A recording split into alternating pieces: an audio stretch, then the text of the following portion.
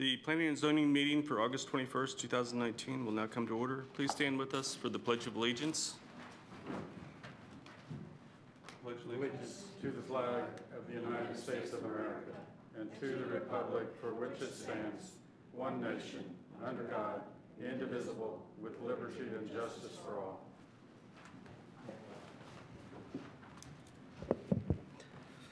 Can we have roll call, please?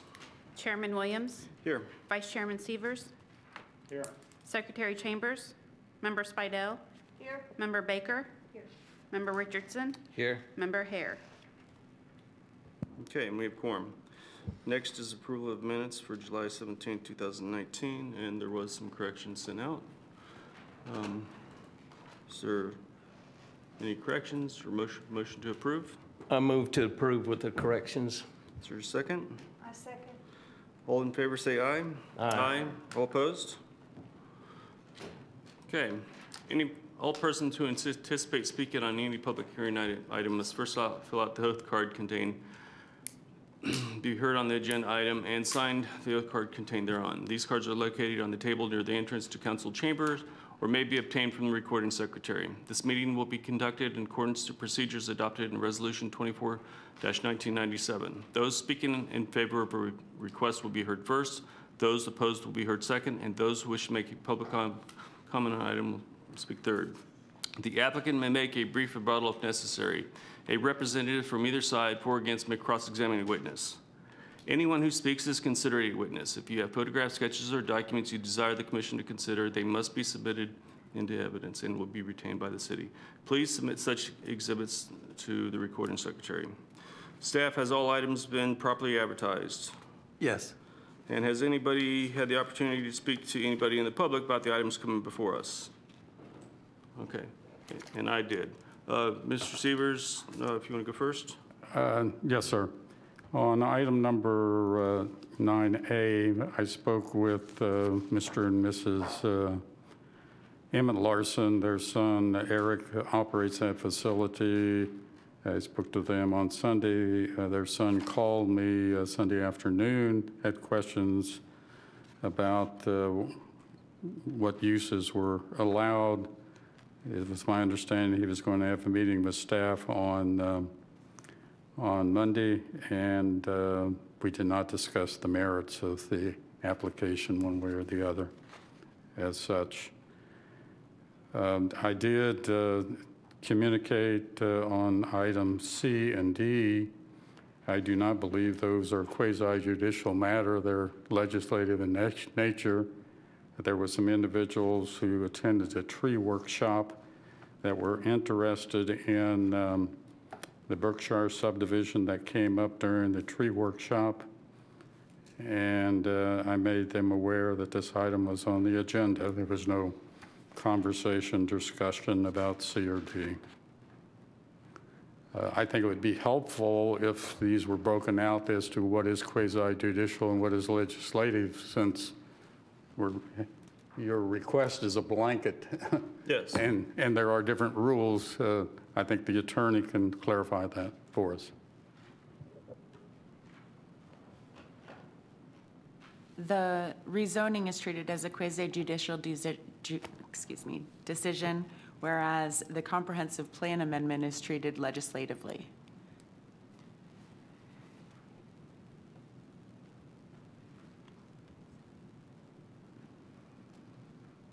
Is that it?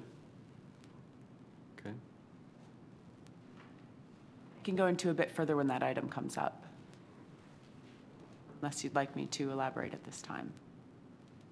Um, I think we're good, but, so, and I had a conversation um, regarding small-scale amendment two dash uh, 2019. I had discussions, multiple discussions with city staff.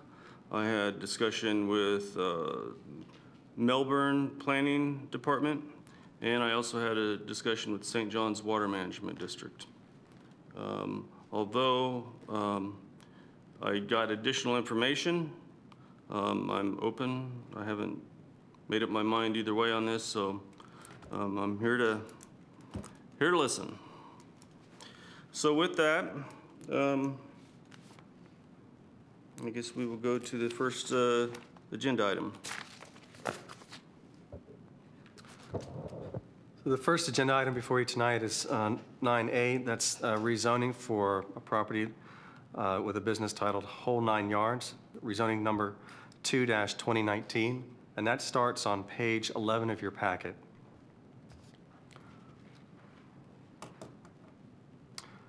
So this is a public hearing to adopt an ordinance amending the the zoning map to allow this property to be rezoned from the M1 Light Industrial Services and Warehousing zoning district to the Community Commercial zoning district. The property is about, it's just a little bit more than a, than a half acre. Uh, It's located at 486 North Washington Avenue. The applicant, Honeycutt and Associates, on behalf of the property owner, Itani Properties, is requesting to amend the existing zoning designation on property totally uh, just above half an acre at this uh, 486 North Washington, which is located on the south side of North Washington Avenue between Elaine Drive and North DeLeon Avenue. While the current light industrial services and warehousing M1 zoning district is consistent with the downtown mixed-use future land use category that's currently on the property, the requested rezoning to the community commercial zoning district may be preferable along a major corridor into the city. The rezoning is being requested to permit the sale of vehicles in addition to the vehicle repairs that are and service that is currently conducted on the site. On page 13 of your packet, you'll see an aerial of the property.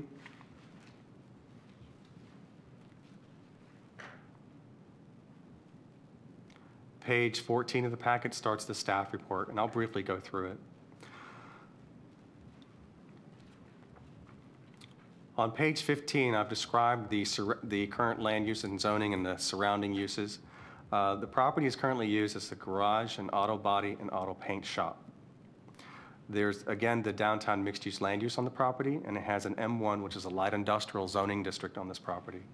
They are proposing to maintain the current auto sales, I'm sorry, garage and auto body and auto paint business, but also in addition to that, add auto sales, which is currently not allowed in the light industrial zoning district. It is allowed, both uses are allowed in the community commercial zoning district, so that's why the applicant is requesting for this rezoning. North of the property, uh, all the properties on the north, south, east, and west are all in the- downtown mixed-use land use category. The zoning on the north of this property across the street has, also has community commercial, M1, which is light industrial, and also there's an area there that has an RMH2, which is a residential manufactured housing park. South of this property has also uh, an M1, light industrial zoning. East of this property has a community commercial zoning, and just west of it is zoned office professional, which is a very low intense type zoning district. On page 16, I'll briefly go summarize the history of this project, property, uh, which is in, it's page 16 on your, uh, of your packet. The property has approximately 150 feet of frontage along US Highway 1, or North Washington Avenue. Um, According to the city's records, a building permit was issued for a garage on the site property, on the subject property in 1974. For some period between 1962 and 74, the property was zoned single-family residential. Although staff was unable to locate records to confirm the date and rationale for this designation, subsequent to the issuance of the building permit for the garage, which was issued in 1974 in error, the property was rezoned to commercial in 1975 by ordinance 3-1975. There are currently several buildings on the site, including a 4,800 square foot metal building, a 1,200 square foot building, and several smaller buildings at the rear of the main building. We did do some, subsequent to our publication of this agenda, we did do additional research at the request of the applicant. And we found that two of the buildings were permitted. However, we could not find permits for uh, carports or sheds, if you will, that are on the property. There are two that are located at the back of the building, and I'll refer you back to the aerial on page 13 of your packet. You'll see that there are two per- uh, sheds there in the back, and there's some more additional sheds on the west side there. Um, So back on page 16 of your packet.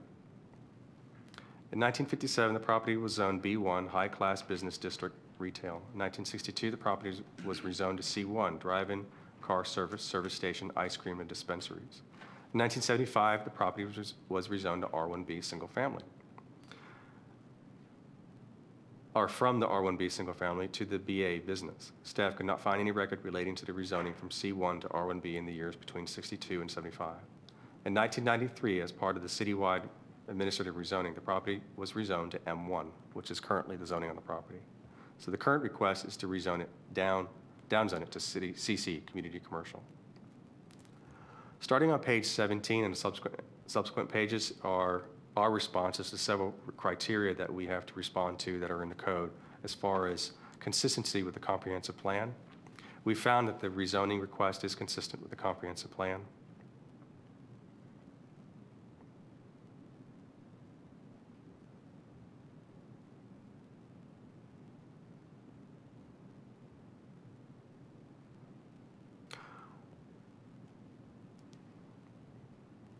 On page 22 of your packet starts additional land development regulations requirements for zoning districts consistent with the downtown mixed-use land use. I, excuse me, I skipped over an area here.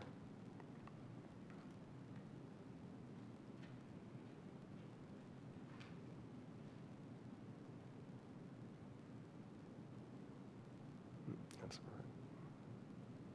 Okay. On page 21 of your packet, excuse me, at the top of the page, there then starts the criteria related to zoning.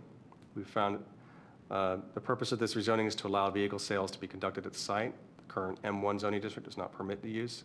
And it should be noted that vehicle sales are currently being conducted on the property immediately to the east of the site. One thing I want to note to you is that if they, the rezoning is approved and that they do uh, ask for a business license or, or what we call a business tax receipt to allow for the sale of vehicles on the property, that at the minimum, they will be required to submit a site permit, whether we call that a class one or class two. Either way, there would be a site permit required in order to identify the location of where autos will be uh, stored for sale and displayed. And so that might require some additional improvements that have to meet the code, such as landscaping requirements, uh, new parking requirements, and such.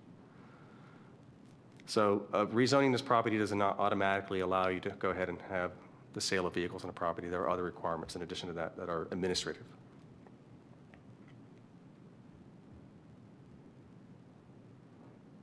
On page 22, on number seven there, I'm just going to summarize the, are there substantial reasons why the property cannot be used in the existing zoning district? Again, the M1 light industrial zoning district does not allow auto sales.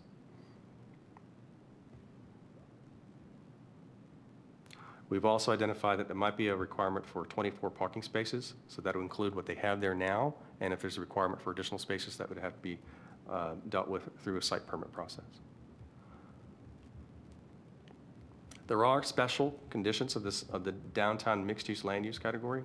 So in this case, we have a downtown mixed-use land use category on this property, but a zoning that is not downtown. The zoning is M1, going to be CC if approved.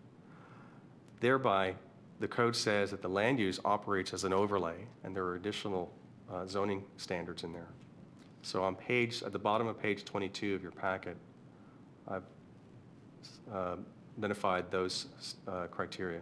Addition, it's ca- titled Additional Land Development Regulation Requirements for Zoning Districts Consistent with Downtown Mixed-Use Land Use. So in section 28.7-7A of the code states, in addition to the applicable requirements contained elsewhere in these regulations, zoning de- regulations, all property developed after the date of adoption of the zoned single-family district, multifamily, T, and so on, community commercial, and even the M1, um, as shown on the adopted future land use map, shall comply with the following additional requirements.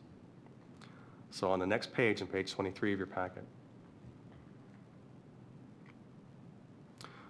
the C states there on the top there on subparagraph one, the community commercial, CC, and the light industrial, M1. Property has to have frontage on ac- and access only from a collector or higher road, which it does. Or property has frontage on, on other streets here. And so we state that the subject property abuts North Washington Avenue, which is classified as an arterial.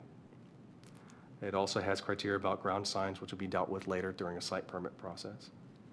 Fences or walls, not, the applicant is not proposing any kind of development to us right now. They do not have a concept to submit to us for any redevelopment of this property. If all required parking, street, off-street parking can otherwise be accommodated on site, the required front and street side setbacks can be substituted with a minimum 10-foot deep landscaped buffer area. That's subparagraph four here. The reason I bring that up is because our current code requires all develop, redevelopments or new development to have a 20-foot landscape yard along any public right-of-way. However, in this downtown mixed-use overlay, if you will, uh, this, a new development or redevelopment can uh, have a a lesser uh, landscape buffer along, or strip along that right-of-way, provided um, they can put all of their required parking on the site. Again, I do not have a concept from the applicant as to what they're going to do on this property, but that will be dealt with during the site permit process.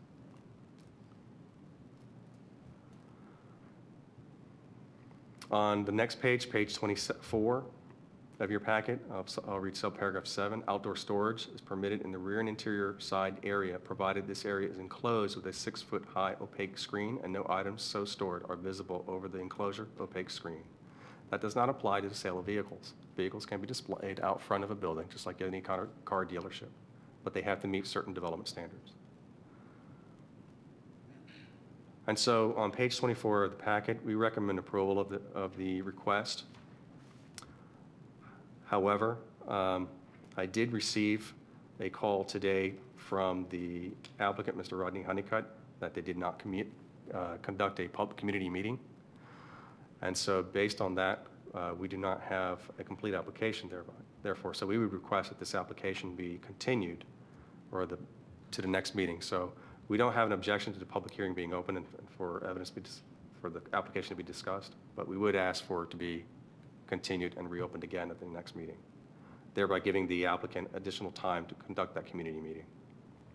So on the next page is, uh, we included the maps, uh, the future land use map, flood map, uh, soils map. We also have a wetlands map. We Did not find any issues, and the zoning map. And then on page 31 of your packet, you'll see a survey of the property. The ordinance for the rezoning starts on page 32 of your packet, and the application is also included from the applicant. We also conducted a concurrency review, which is a preliminary concurrency review. A formal final concurrency review is completed during site development permit reviews. So what we have on page 37 of your packet is a preliminary concurrency review. We did not find any issues with this. And this is addressing whether there is enough capacity of our water, sewer, um, roadways, and parks to accommodate new development. We do not have anything proposed at this point.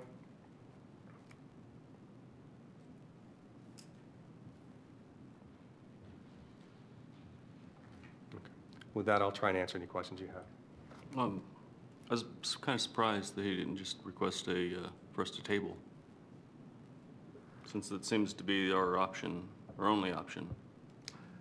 Uh, Mr., I believe Mr. Rickern is here to answer any questions you have about this, but it's the discretion of the commission if you would like to hear the applicant, or if you'd like to continue it to the next meeting. Um, Well, let's, let's, uh, op- I mean, since we've heard the items, might as well open it up to the public. So if you, did you fill out a, a- a card? All right. So, um, yep. Yeah, but if you'll hold on, because I have somebody else coming up, so, thank you. Hi, uh, Richard Kern, uh, business address 3700 South Washington with Honeycutt Associates. Uh, We've reviewed the staff report. We concur with their findings. Uh, As as noted, we we are we are re- requesting the board to um, table this because of the uh, of the uh, of the of public meeting public meeting had had not been uh, uh, conducted yet. Um, There was one thing that came up that uh, I'm not sure if, if, uh, if the board can include this or not, but um, some of the existing buildings or sheds on, the on the back side of the property um, are not outside the uh, um, uh, setbacks that are, that are required, so I don't know if the, if the rezoning can be approved, um, uh, allowing um, non-conforming uses or, or, uh, uh, non- non-conforming setbacks on, on- the, uh, on the property or not. That, that, that'd probably be a, a, uh, a, uh, a uh, item for the uh, city attorney's office to address. So, Okay. Uh, Any questions? Seeing none? Thank you. All right, um, you come up. Thank you.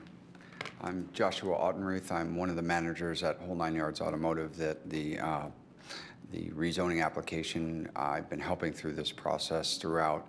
Um, And I wanted to piggyback on Mr. Kern's comments. Uh, We did have an opportunity to have a preliminary meeting with, uh, with, in the rezoning department with Brad.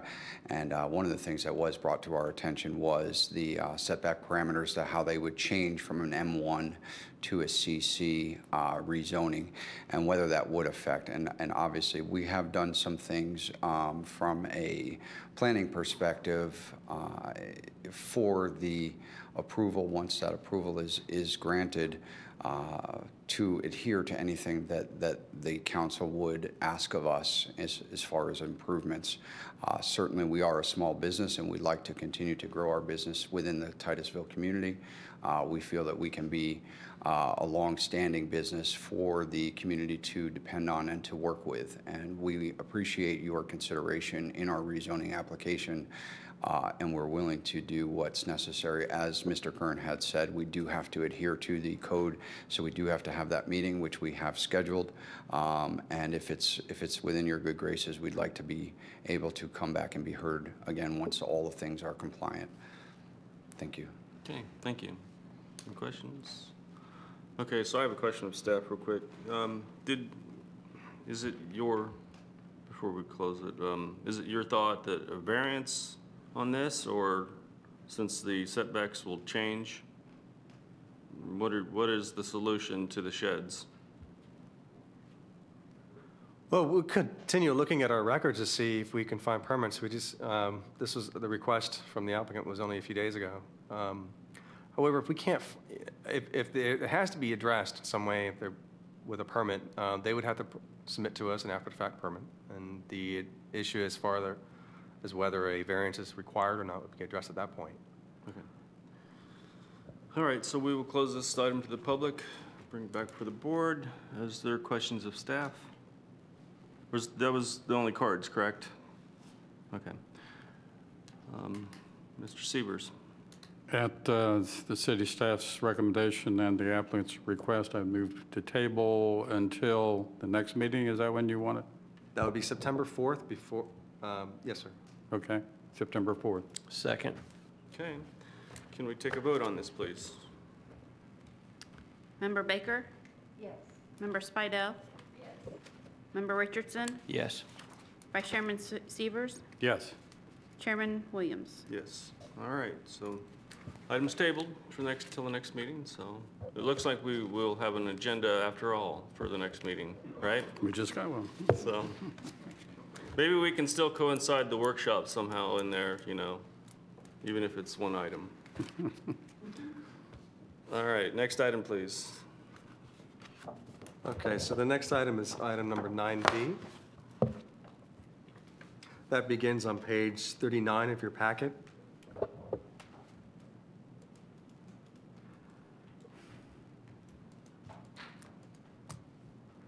This is a small-scale amendment or a comprehend, this is an amendment to the city's current comprehensive plan, future land use map. Uh, It's a small-scale amendment, so the property is, that is being, uh, whose land use is being changed is less than 10 acres. Uh, The property is located at 2001 South Street, also identified as parcel 514 by the property appraiser's records. This is a public hearing for this property to be, have the land use changed, and also the rezoning would would be changed as well. So there'd be two different actions, and those two different recommendations. Um, It's a little complicated. The property has several land uses and several zoning districts, and the applicant is asking for them, some of them to be revised or the boundaries to be changed, and some to be eliminated altogether. Um, And I'll explain by reference to a map, which I'll refer to. The applicant is requesting this small-scale comprehensive plan amendment with rezoning to allow the construction of a multifamily dwellings on the property located at 2001 South Street. Again, we do not have, um, or in this case, we do not have a concept plan. This was just stated by the applicant as their future intent. The property lies on the south side of South Street, west of the North Area Community Education, or Whispering Hills facility. Of the approximately 11, just under 12 acre parcel, approximately seven, just, just under eight acres are the subject of this request. The property is currently desi- designated with conservation, downtown mixed use, low-density residential, and high-density, density residential land uses. And the property also has the open space and recreation OR zoning district, a multifamily high-density R3 zoning district, and a single-family medium-density R1B single, uh, single-family zoning districts.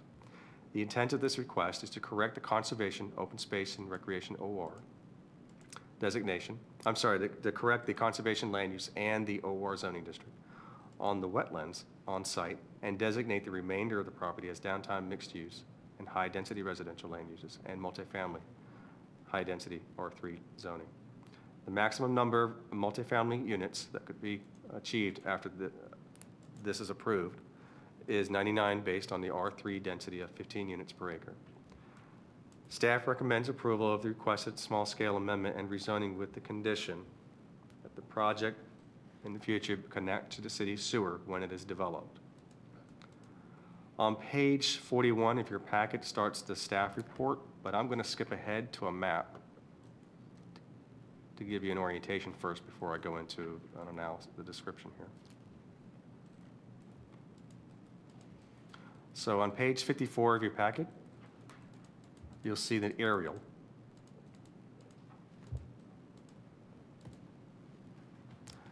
And then page 55 of your packet, you'll see the land use map. You can see on the left side, on page 55 of your packet, the land use map. That's the existing future land uses. You can see in the blue there, that's the downtown mixed-use land use. You can see everything in green, that's the conservation land use. And then everything else has that high-density residential. And there's a sliver of this property that has a low-density residential in gray. If you any, if you're confused by what I described, please tell me. On the map on the right, on page 55 of your packet, you'll see the new configuration of the land uses after this is approved. This would be based on a wetlands delineation and environmental study that was provided to us. We did receive concern from uh, Commissioner about this because of the date of the information. Um, I will say, though, that we did respond that we couldn't find requirement in the code telling us that we have to have something specifically as recent as what uh, St. John's would require. And so we would, we entertain any kind of request or recommendation from you as to the action of whether you- this is acceptable or not for this particular application, or, and/or if you would recommend maybe asking the city council to, to consider amending the code to make it more specific about this requirement. On page 56 of your packet, you'll see the zoning map. So you'll see the three zoning districts on the property on the existing zoning, R3, multifamily, R1B, single family, and OR, open space. And then the map on the right would be the new configuration of the zoning districts after approval. The reason why you see this is because the code and the comprehensive plan currently require that conservation must be on, put on property where there is wetland found to be five acres or more. And that the boundaries of the conservation land use can be adjusted based on the ground truth and information, which is the wetland delineation that we received. So the result would be this map on the right here. And then the applicant would have the intent to utilize the area that has the R3 zoning for the development. You can see on page 57 of your packet, a wetlands map. So that area that's in green would be considered the area of the wetlands.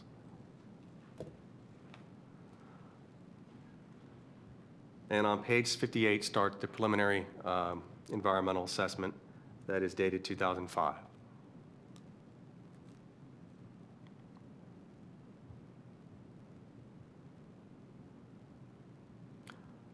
Now, I'm going to jump back to page 41 of your packet and summarize the staff report. Could- Yes? Is there an updated environmental report, or is it just the 2005? That's it. That's what we have, sir. We do Pardon? not have anything more up to date than that. Okay. And the wetland delineation map that we received, the survey was dated 2006.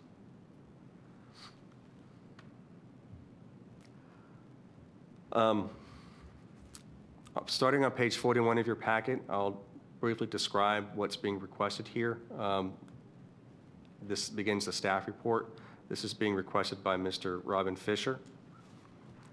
Um, On page 42 of your packet, I'll briefly describe the land uses surrounding. The property to the north and across the street has a downtown mixed-use, conservation, and low-density residential, and a general-use zoning district. Property immediately to the south, which has some single-family homes there, um, has a conservation land use and a medium-density residential land use.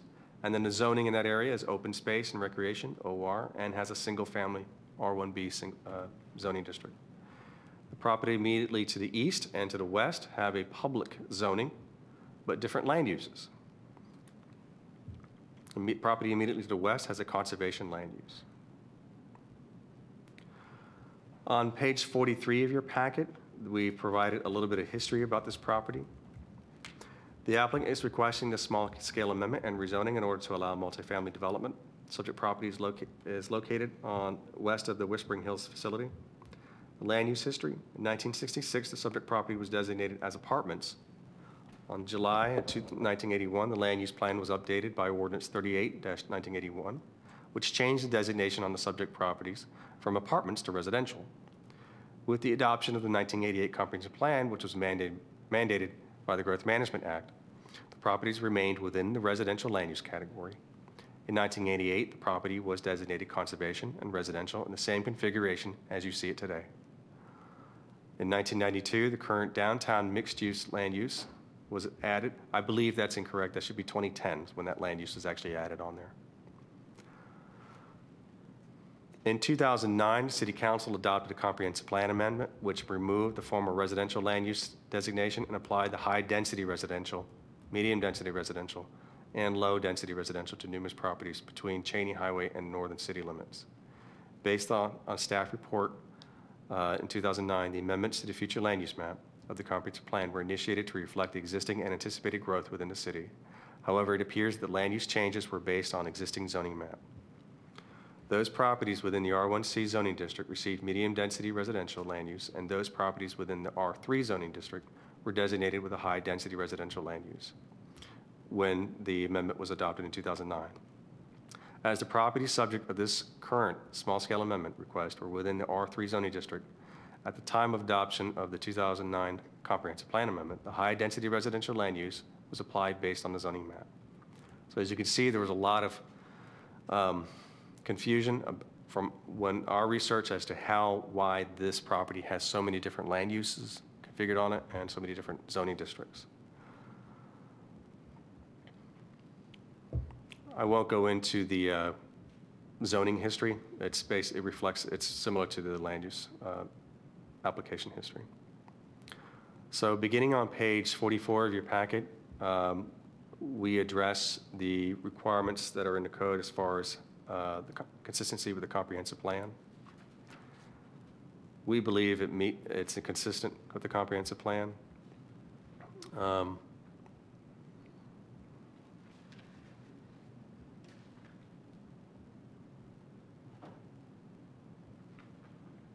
On page 49 of your packet, I think uh, we addressed these rezoning criteria from the code, including whether there are public facilities available, transportation impact, solid waste. We believe that if, based on the maximum density of this project, it probably, of this property, it could generate 653 average daily trips, which would require a traffic study with any new development, if it's going to be proposed at that maximum density, of course. Um, We do have uh, facilities available to serve this property if it is developed, including solid waste. On page 50 of your packet, the density or intensity of the proposed rezoning and use shall be consistent with development in the area. So this is a compatibility statement. Um, We stated that the development in the area is a mix of single-family and multifamily dwellings. Subject property abuts a North Area Community Whispering Hills facility to the east and city-owned property to the west. The proposed multifamily residential zoning district is applied to properties to the north. Required buffering will be, minim- will minimize impacts to the single-family residential lot adjacent to the property.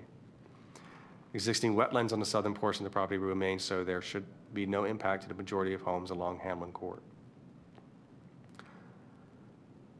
On number four there, the application is consistent with the zoning in the area. We believe it is so. They, any new development will have to meet our land development regulations as far as buffers, landscaping, parking, and such. There are additional requirements, uh, again, because the north part of the portion of this property has that future that downtown mixed-use future land use, which uh, in this case, again, operates as an overlay. So on page 51 of your packet, you'll see the same criteria I described in the last agenda item that would be applicable to any new development here as well, including a potentially a reduced set- uh, landscape strip along the, the street. So on page 52 of your packet, we recommend approval of the uh, land use change and the rezoning change consistent with this, the maps I described earlier. Um, I do want to mention, though, that Mr. Fisher uh, provided to us not evidence of a scheduled community meeting, but rather a letter that he mailed to the surrounding property owners. He uh, stated that he received uh, no response, and then he subsequently also uh, knocked on the door and visited each home within that, uh, within the 500-foot radius of this property, um, or the notice requirement ra- radius, and did speak with several neighbors, and I think they had it even on impromptu meetings, but he can describe that to you. I would ask, though, that um, that evidence should be considered by you as to whether that is sufficient to meet the standard of the requirement in the comprehensive plan, which specifically says that you must have a, hold a community meeting at least seven days prior to the first public hearing. If his attempt to meet with the neighbors there meets that intent of, of the comprehensive plan policy, then we would otherwise recommend that you um, uh, consider this application or continue it to the next meeting to allow him to, time to um, hold that public meeting. So with that, I'll try and answer any questions you have. Um, I just had one quick question for staff. Originally, when, before that requirement went into effect, I think we addressed that. Um, If nobody was going to come, I thought that that was, I mean, that's kind of a known issue. Well, Can you tell me what, what is, it seems to me that he did his due diligence for the meeting, but what was the, I can't remember exactly the, I thought do we- is- we did discuss that. We did, I believe you may have. Um, I'm, I'm going to read the policy from the comprehensive plan.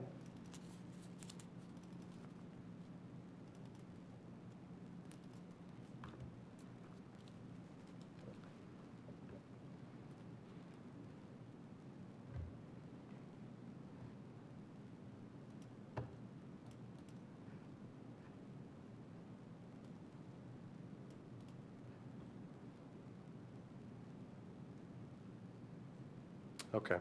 So policy 1.23.5 of the future land use element of the comprehensive plan specifically states, "The city shall require applicants of land use and zoning application submittals to schedule and conduct a community meeting with interested members of the public regarding their application at least seven days prior to the first public hearing.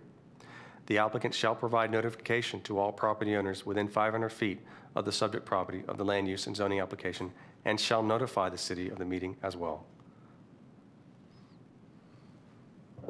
So, that's, so he's good. Well, it states that schedule, they- the applicant is supposed to schedule and conduct a community meeting. That was not done. That, a letter was sent to the applicant, the surrounding property owners, asking, do you have any concerns, please contact me. Hmm, okay. All right, um, are there questions of staff? Okay, with that, we'll open this to the public. Mr. Fisher, you want to come up?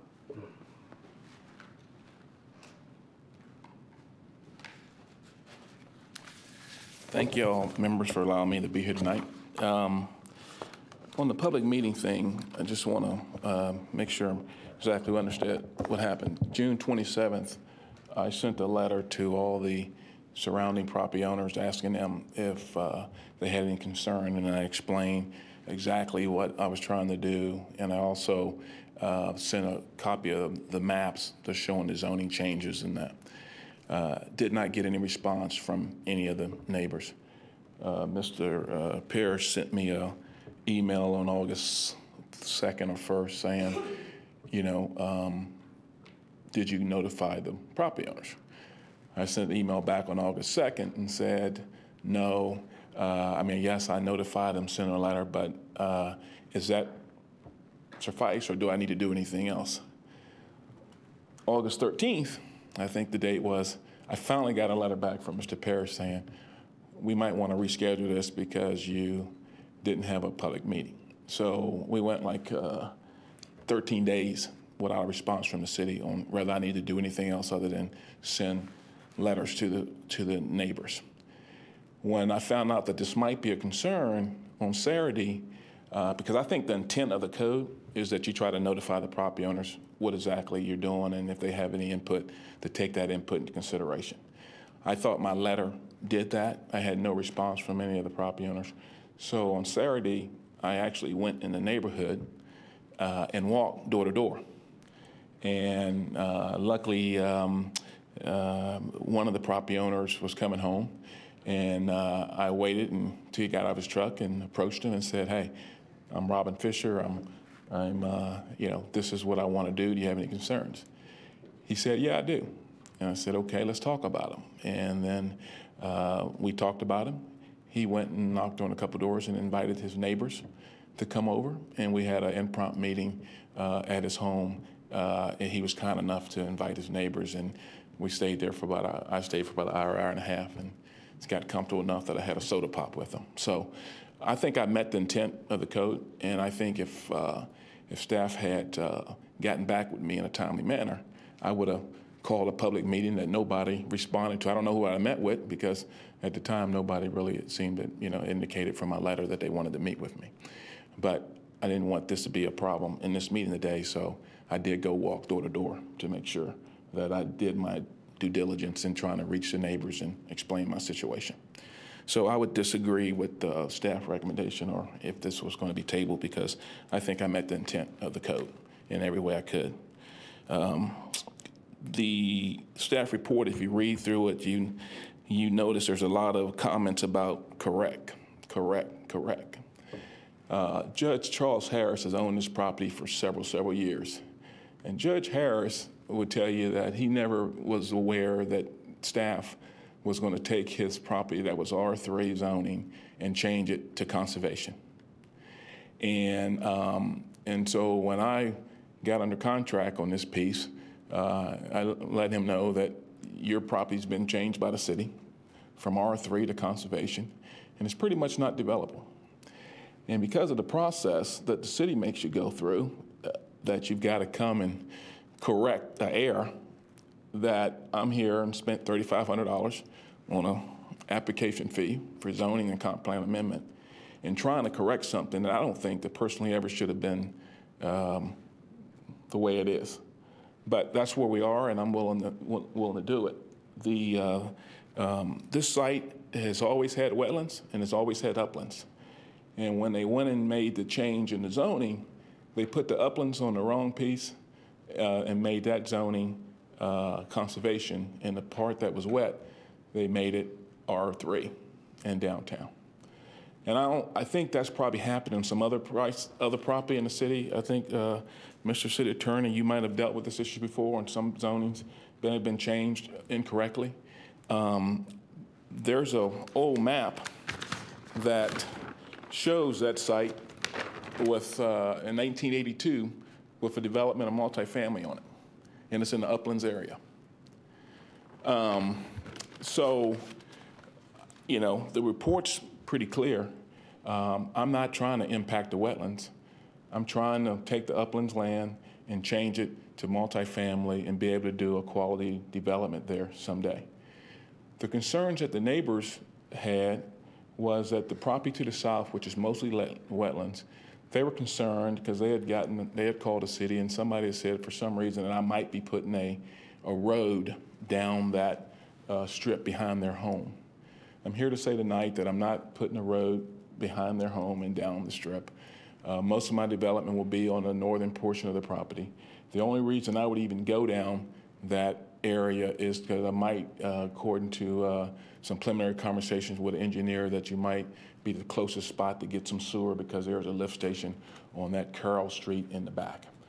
I really don't want to go that way. I'd rather deal with everything out on South Street. But, um, and I'm willing to make a condition that we won't put a road behind these people's home. Um, But that, in the, in the terrain of the uh, land, that, their lot sits about 10 to 12 feet higher than our land anyway in that area behind their home. And uh, we have no desire to impact other than if we had to put some utilities through there to get it to the site. And I will open it up any questions you may have of me. Okay, um, the, um, are those apartments there right off of, uh, I'm looking at them, are they on the map? Some apartments to the north, sir? Yeah, are those apartments? There's some apartments or townhomes to the Town, north. townhomes, okay. and some I just other- see large roofs and, um, all right, so I had, in- as they mentioned, I had concerns with the, um, survey, um, and the environmental, the dated material. I mean, both, one was 2005, one two- is 2006. And so I went back to the city and they said the code wasn't specific, but, um, did the city ever come back to you and say, hey, we need, we should uh, get an updated delineation? Was there anything mentioned on that at all? No, the city position was, I think, um, is that the, there's been no development around that site.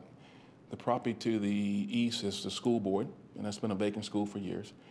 There's, uh, to the west is a city's compound, uh, which they use for dirt. So I don't think that land has changed since that survey was put out. And I think it's unfair that if you had a, uh, a property that was in, a land that was improperly zoned, that got changed for wrong reasons, that you would make an applicant go spend a bunch of more money with environmental studies and surveys and wetland delineation and all those things to correct something that should have never been done before. In '06, there was a gentleman who was going through a St. John permit, and he's the one who did the wetlands delineation and, and some of that stuff that made that, uh, why that stuff was available then. Okay. All right, um, I guess more, mine questions are gonna be more to staff on this, so. I just, has anybody raised the concerns with you in the recent weeks, or week, recent, recent days about this at all? Just saying, I raised this concern with them since last week. I just wanted to, I, I wanted you to be aware The only way I'm aware with there was any concern at all was that I went door to door to talk Okay. to the neighbors to make sure that um, I was meeting the intent of the code, and I wanted to make sure if there was some concern that I could address it, so, you know, things like I'm putting a road behind their home wouldn't Okay. be uh, uh, misunderstood. Um, all right, Mr. Severs. Mr. Fisher, uh, like you, I'm kind of aware of the history of uh, Charlie Harris's uh, woes with regard to uh, uh, this particular property and uh, well aware of, uh, once upon a time, having the, the task of code action to enforce the removal of some concrete slabs that were on the property whenever that plan you just showed us, there was actual construction Yeah, there was on- actually, on, uh, on the property way back. I think there's still a slab there, sir. Is there? Yes, Okay. Yeah. I I guess um, uh, one of the things, the aerial that we have on, um, on 54 looks a lot different than some of the maps uh, as far as the 2005 uh, uh, study. Uh, There looks to me like a lot more uh, vegetation, trees, and large trees. What what kind of vegetation is there, there, trees on the site? There, I mean, there's some, I couldn't, I'm not a very good garden guy, so I couldn't tell you the type of trees or whatever, but, I mean, there's been some, some growth over the years, you know, for the last 20 years where things have popped up and grow, but I mean, it's, the area that's, that's, uh, uh, was, to me, that was dry, based on all the information I've seen, is still dry today. I, I think there, the, um, but I think where the city has some, um, some R3 zoning on, that area is actually, never should have been R3. It really should have been wetlands and conservation, and we want to try to correct that, sir. As far as, have you had, I know it's not required by the code currently, uh, a tree survey done on the property? Um, I'm not sure, um, I, I don't know, sir. I, I I haven't done anything. Uh, um, it's very possible when they did the permit for, um, the St. John Water Management, and there was a permit done by another agency, uh, that, uh, kind of went through it and did, I think, a tree survey and, and all that kind of stuff on it. As far as uh, the, uh, the ground truthing survey, has that been accepted by St. John's? Is there a letter from St. John's accepting that uh, ground truthing?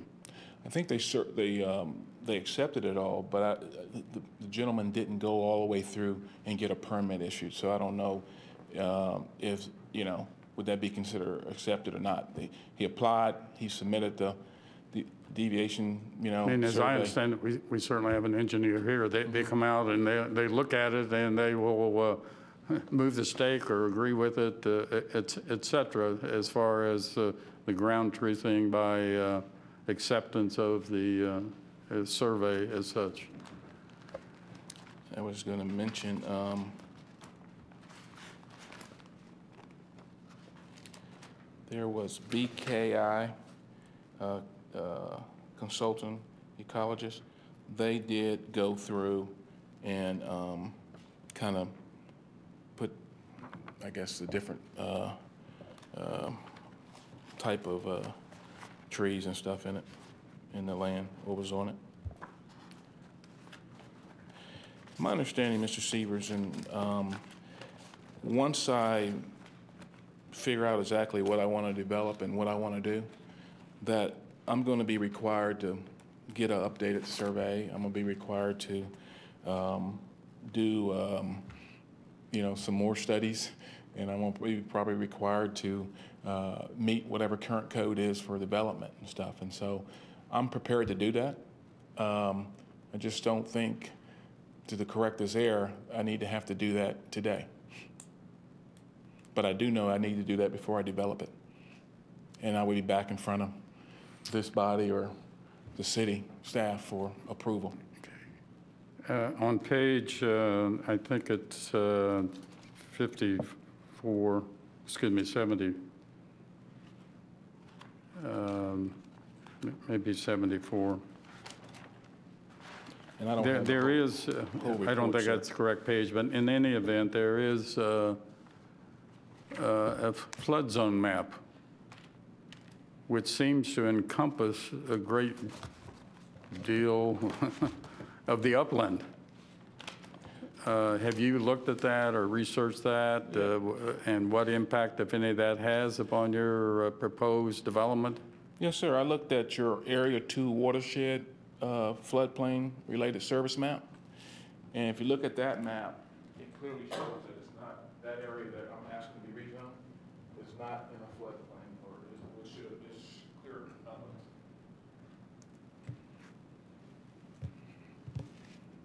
Okay. Anybody else want to see that?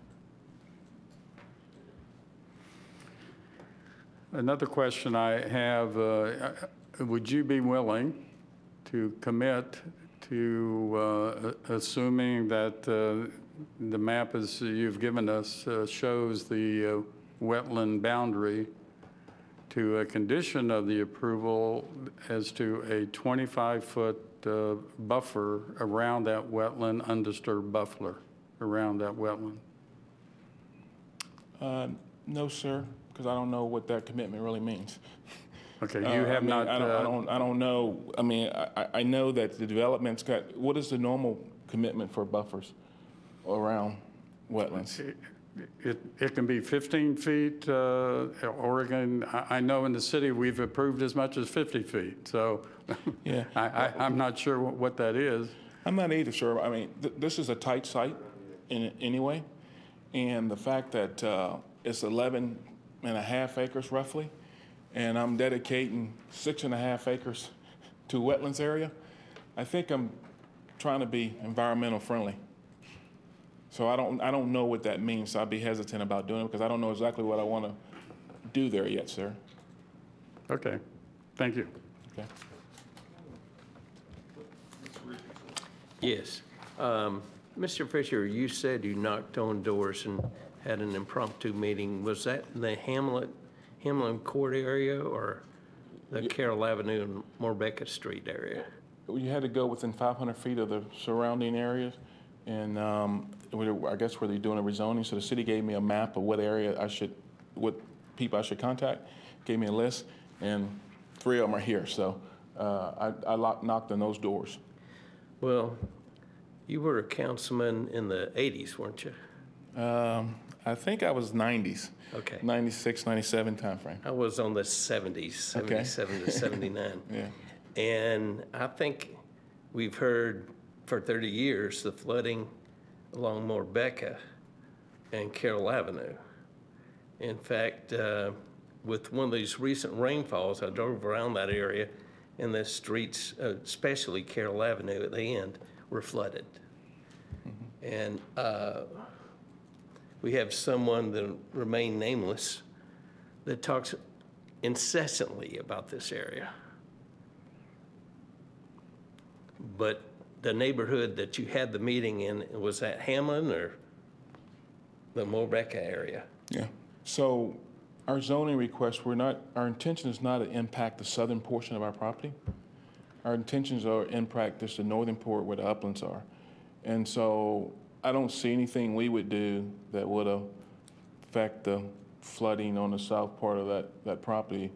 Um, And so uh, I contacted the, which I was asked to by the city staff.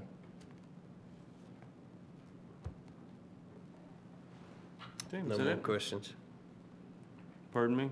I don't have any more questions. Member, Member Spidel? I'm confused too. I need to Your mic, turn your know what mic. neighborhood you, people, oh. Okay. Um, Concerned about what neighborhood you talk to people. My, my concern was the same. Is it the Hamlin neighborhood?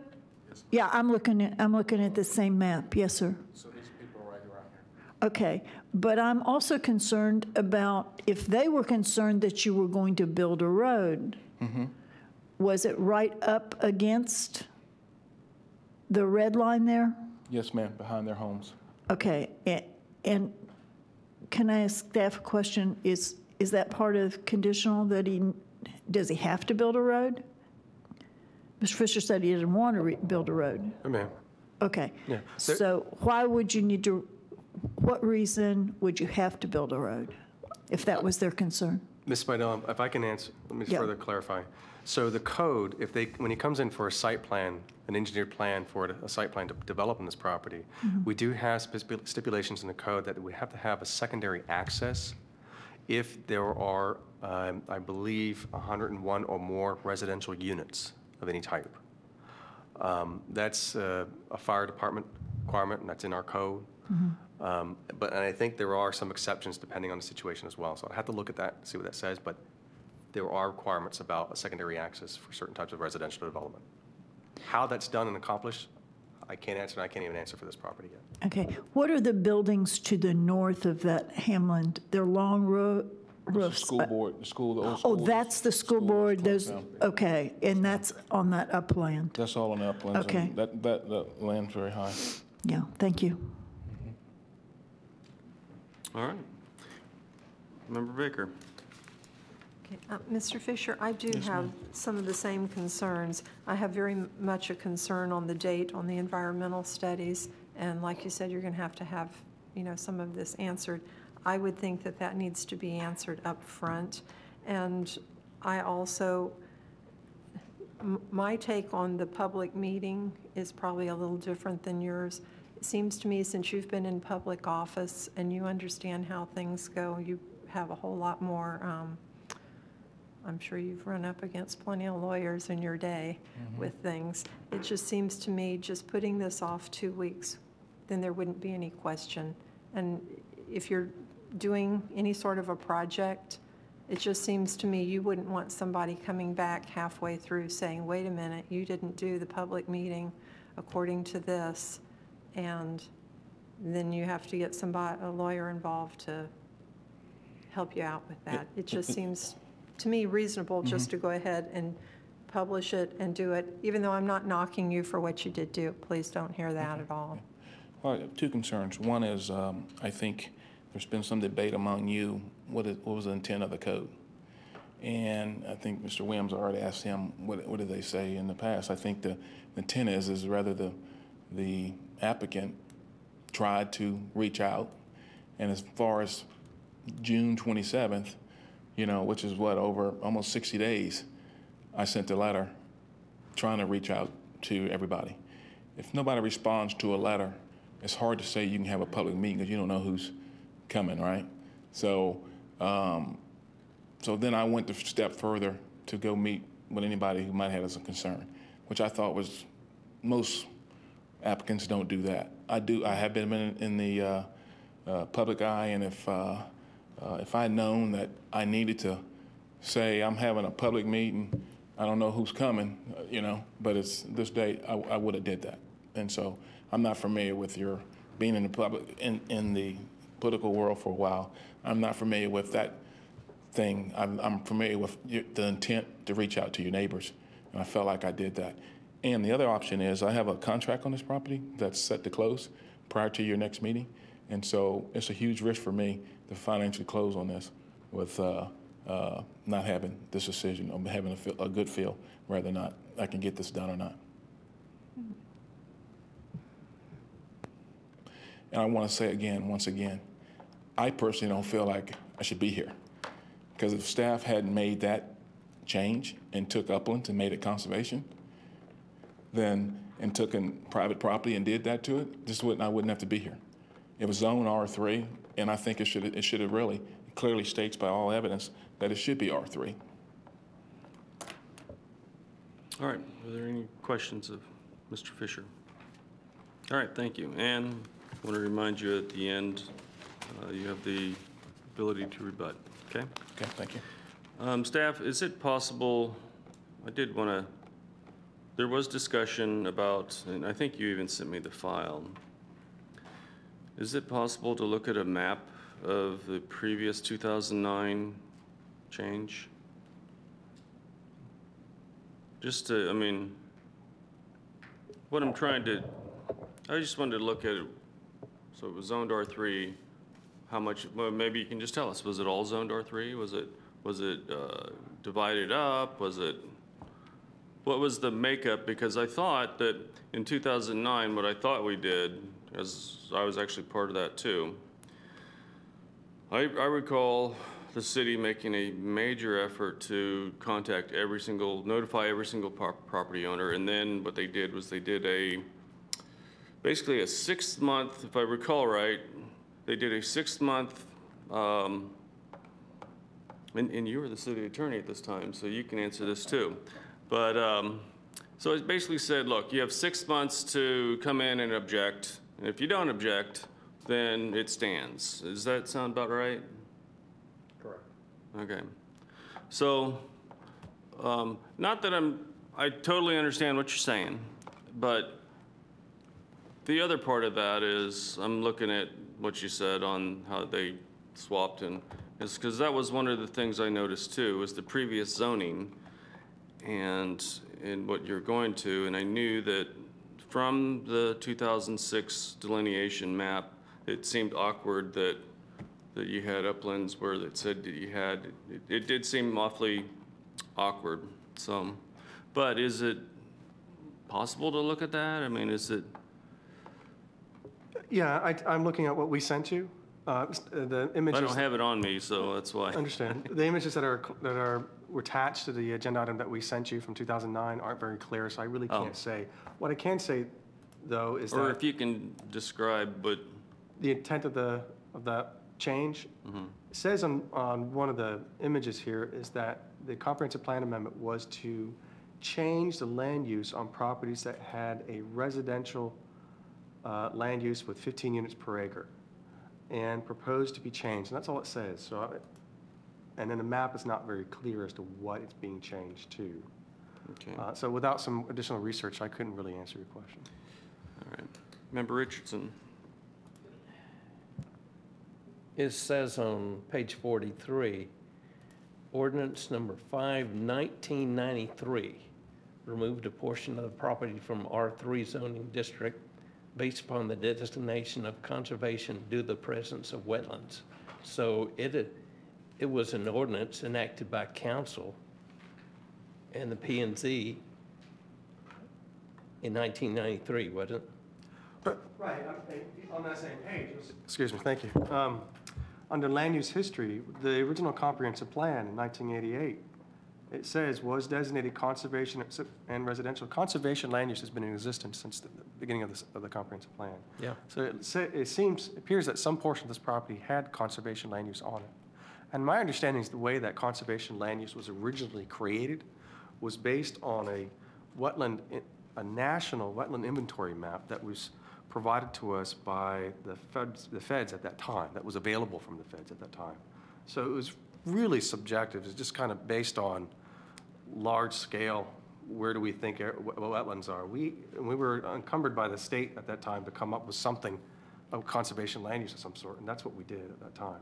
So it's, it's a land use that's in effect since then, and it's been processed the way it is being proposed to tonight since that time as well. My point is, it didn't just happen in the last five years or 10 years. Correct. It happened in 1993. Uh, it appears By at an at some ordinance. portion 88, yeah, and then again in 93, there was another change, yes, sir. But I thought there was, what you sent me, you said there was modification on this in 2009. Yeah, and then there were additional changes in 2009. So I- I'd have to look at the, uh, deeper to find out exactly what that particular change was about. So, to, to tag on to what he was saying as well, so it's always been observed within the city that when they did this configuration of the wetlands maps, they knew that they weren't accurate, and it's always been agreed that as they ground truth them, the zonings will change, the maps will change, and it isn't until they actually ground truth it, rezone it, but it was agreed that these would change because it was old data applied to it. It was very vague data. So for, for these applications to come in, it is expected for them to change, um, to swap on some of these conservations, but it, it really depends upon the ground truthing that is done and the certifications. So, all right, so, so we moved this meeting along a little bit. Can we get the next uh, card, please? Joseph Jordan.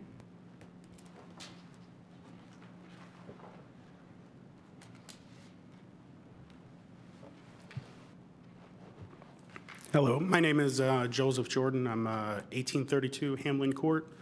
I'm probably the most affected neighbor of this, uh, this property and what Mr. Fisher plans to do.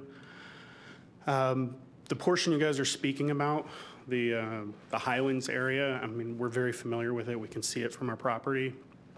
Uh, It's, it is high and dry. It's sand, dirt. There are um, some uh, concrete pads on there. Uh, The area that, the conservation area that seems to be the most uh, concern for us is behind where he wants to develop. Um, And he's given us some assurance that he doesn't want to build a road there, which uh, I guess somebody at the city had said that there might have to be a road there uh, at some point. And that, I don't think is absolutely true, um, because there can be two inlets and outlets. I'm also a licensed real estate agent, but I believe there's two inlets and outlets that can be done on the front of the property. Um, Of all the people that would develop this property, I would prefer that Mr. Fisher do it, um, because he has a good track record. There are a few developers that have gone along that area and they've failed at projects. So him coming in to do this would be a positive um, movement for that area, I believe. Uh, He's also um, talked about, um, in good faith, potentially putting some sort of barrier that would limit traffic from South Street to um, our property. Uh, I, I personally, as long as the development happens forward and next to the Whispering Hills development, I have no issue, uh, as long as there's a little bit of a buffer so that I don't have to see um, uh, higher density residential, um, because we did buy the property with the, uh, you know, having the quiet enjoyment of the conservation area that is behind us. But all of the area that, the- that, that light residential area where we thought the road would be built, um, really, he has no plans to develop, and uh, I believe he's acting in good faith. So in my opinion, I'm, I'm okay with this going forward, and I am the most affected person. Um, I'm probably the only person that would, um, well, maybe, and um, the other neigh- neighbors that would actually see uh, the development. So again, of all the people to develop this, I would prefer that Mr. Fisher do it. So if you let that lapse and somebody else uh, come in at a later point, um, I'd be more concerned. I did, when I first heard it would be developed, I did have some opposition, but we did have a very detailed meeting in my living room um, that he really did address all the concerns that we had, and uh, I feel like he is acting in good faith, so. All right, are there any questions of Mr. Jordan? Thank you. Thank you. Next card, please. Brian Palmer?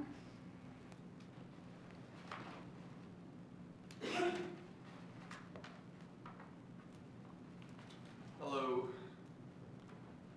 Um, I'm Captain Brian Palmeyer, a lifelong resident at Titusville, own several businesses here. Um, I was also, got called into the meeting that we had with, uh, with him, and, and, you know, our concern was also mainly the road. Uh, My wife and I bought this property approximately seven years ago, just under seven years ago. We were kind of assured that nobody would be able to build behind us because of its status, the way it was. Um, I understand things change, however, that it was one of the pretenses that we did purchase that, that, that piece of property um, there. Um, You know, he is correct in saying he did send out a notice and everything. However, I will point out the fact that it was mailed in a State Farm envelope, which looked just like every kind of sales gimmick envelope you mm-hmm. get that nobody ever opens, everyone throws out. And it was delivered on July 6th. So everyone's just finished a holiday weekend. Everyone's got a pile of mail. I, I personally feel that was done deliberately so that it would, that's why nobody else probably contacted you. You know, I mean, personally, I think that was done on purpose so that, you know, people didn't know that this meeting was happening. Um, He also assured uh, my wife as well as Joe, you know, that, uh, uh, that there was not going to be a road put there and to limit the access back there, which I am totally good with. That's kind of our, yeah, our, uh, that's one of my main things too. However, you know, I also brought up, well, if you, if there's water lines and stuff going back there, well, they're going to have to put some kind of road in there just for there to be access. And then, you know, everybody in this room knows there's going to be someone that just jumps that fence and that just becomes a little drug corridor from one neighborhood to the other. You know, um, I got my truck back last night, uh, or yesterday from the Titusville Police Department because it was stolen the night before out of my driveway. And I live right next to Joe, and I'd be the second closest homeowner to this. My, my address is 1840. If you want to look me up, you can see it there. Um, So I am quite concerned about that. Uh, And that's, that's kind of where, where uh, I think, I- where I'm sitting on that. I, um, I would like to see more information regarding exactly what kind of use it's going to get um, before I, you know, have like a final decision on, on what my part is on that, you know, but I mean, I hope you can understand my concern with it. And um, everything I said is easily backed up, including my truck being stolen. You know, the, literally the night you were at, uh, you were at Joe's house, that, that night. Okay, It but was, oh, if you could last night, address. the day after. If you could address the commission. I'm sorry? Um, well, because you're addressing the commission, I mean, that's great that you guys are having a sidebar, but Okay, sorry. It's- But, but, yeah, that's, that's, that's my main concern in it. Um, That neighborhood in general, there's a lot of through traffic that uses that lane street around there. Um, It wasn't more than a month ago, there was somebody running from a, a Titusville police officer that turned their lights off and came running down the road and skittered into my neighbor's driveway and hid from the police. And, you know, and I'm the one that called the police on it. You can go call, you know, there's a, there's a 911 call on that also. So I am concerned about bringing more of an element like that or giving them a thoroughfare behind my house as well as them have, you know, from the front. So. Okay. I'd leave it at that. As far as the environmental stuff, if you want to hop over my fence right now, I'll give you a pair of boots and you go, go walk about 300 feet through the thorns and you'll be mushing through water. Um, I've had bobcats in my backyard on my chicken coop. The chickens didn't like it. They didn't last. Um, you know, there's a coyote back there. I've seen it three times cross 405. So there is quite a bit of wildlife back there. I know for a fact we have at least four owls because I listen to them when, when I'm in my backyard. So, All right, thank you. well, thank you. Were there any questions? No? All right. Quick question from staff. Um, Discussion on the secondary road. And the only thing that I see, I, I'm looking at the, the map uh, on the, I guess it's the south side. Is that supposed to be some type of, uh, the, uh, it's trees. You have Lane Street, and then you have the Hamlin Court development, then you have the Brewer Court development, but in between there, is that supposed to be like some type of easement for potential connection later on, or is that just, uh, is that for utility? Because I'm looking at the concerns, and it's, it doesn't seem like they, they would be able to put a secondary, they wouldn't, couldn't put a road, wouldn't put a road that far down. So it looks like you're looking at a, um, the area behind the houses that are on Mor, Morbeka? Is that right? And not Hamlin? Yeah, Mor- right. Okay. So it looks like there is a public right-of-way behind there. That's what it looks like to me. I'd have to confirm that. Right, Um, because, And it might have been part of an old plat or something. Yeah, and that's, I'm just wondering, it doesn't, it might not be anything that's really usable. It's a um, paper as right-of-way, well nothing as- constructed there currently. I currently. think with the um, recent developments, a wider access or boulevard accommodates everything above 99 or whatever, it's 10 something, 101 houses. Right, our code says, I believe it's 101 or more, uh, there So- has to be a secondary access. But what I've seen, um, time and time again, is a wider, the fire department signs off on a wider access road. So that, the idea has always been so that one access point doesn't block if there's a fire. But I'm, I'm looking at the development of this property, and this doesn't seem conducive for really any development on that sliver of land. Because by the time you add in um, by the time you add in all the factors of uh, buffers or anything like that, and you can't connect to the backside, the south side of that anyway, it looks like. Well, you could, but it'd be very over the top. So I'm just saying, as far as the residents go, I don't see how that would even remotely be a possibility, um, because there's cheaper alternatives to connect to 405, or, yeah, South Street, so. All right, can we have next card, please? No more cards. All right, so we'll, well, Mr. Fisher, would you like to, well, let me do this, huh? Right, me too, and then, be- and here's why I want to do it a little bit differently. I want to give you the opportunity to rebut even what I have to say, okay, before I close it back to the public, okay? Um, Member Baker, or, hold, sorry, I got Mr. Richardson here. As I recall, in that area, somewhere between Carroll Avenue and Morebecca, there is a lift station or something like that there? I can't answer that question, I'm not sure. I think there is. Yeah, there's a lift station right there, somewhere in that area. That's why you have that sliver.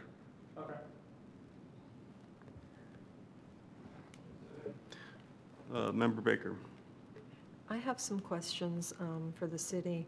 On page 44, um, there, number one says, uh, under staff comment, "The proposed development will serve as infill and utilize existing infrastructure." And then further down on number five, staff comment says, "The subject property does not qualify as infill development." And then on number six, on the next page, I believe it is. Uh, I didn't write that one down. I think it says, goes back again, one way or the other. So Can you explain that to me, please? Sure, uh, so you, I'm sorry. Under Comment nu- one. Number one, Okay. staff comment, and number five, staff comment contradict each other. So our answer to number one, uh, the question is, to the extent to which the proposed amendment is contiguous to an existing develop- development area which has developed in a manner providing a compact contiguous development pattern for the proposed amendment. And our answer was, while there are some vacant properties in the area, this part of the city has been developed with roads and water sewer infrastructure, which is available immediately to the property. The proposed development will serve as infill and utilize existing infrastructure. So in that response, we, it was a, a very um, strict sense of the word, what is infill? That's a vacant lot, it has infrastructure there, you don't have to extend the infrastructure to it, so it could be considered infill in that case. However, um, I do acknowledge what you say here on, pointed out on number five.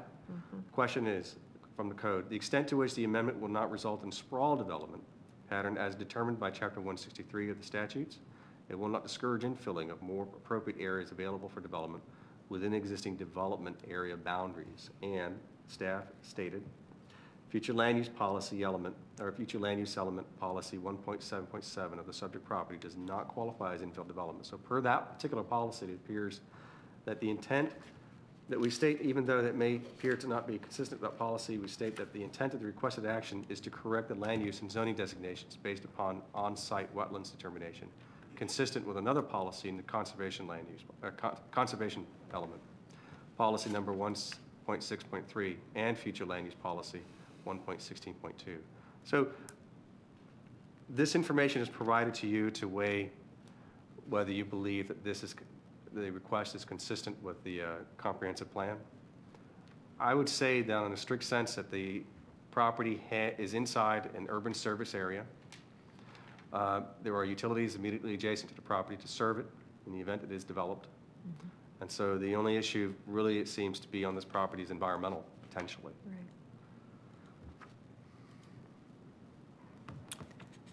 Is that it? That is it. All right, so, as you know, I've contacted you several times, They've even contacted the city attorneys, talked to them both. Um, and my concern was that, um, this was a fourteen-year-old study, and, and I guess, you know, let's just say that, yes, the delineation was done in two thousand six, so a thirteen-year-old. And my issue was that I asked staff, you know, did they is this something that's normal that they would accept a, a study so old? I went so far as to, to let, to ask, you know, because I said, I've never seen this before. I've, I've sat on this board since 2001, 2002. And every single time that I've ever uh, looked at delineations, environmental studies, they were recent. So I, I tried to ascertain why. Why would we accept something um, so old? And the answer I got back was, well, the code doesn't, it doesn't state that they have to give us a date. And that, that really perplexed me because I was like, wouldn't matter. Uh, It would still be an administrative decision because the St. John's Water Management District requires there to be something within five years old, within five years of time, to do that, to even accept the delineation. And so my issue with this is specifically with the delineation. Um, Maps change, uh, wetlands change. We, I've gone through wetland trainings at the Yin Yang, and the one thing that they tell you is they move, they change, they shrink. It's, it's a plus, it's a minus, um, but no matter what, the map is going to change. So that's why they, they certify them. Now, I've heard them certifying for a very long time, but in this case, I've asked, it, what was presented wasn't certified. I didn't feel like I was getting a clean answer from the city.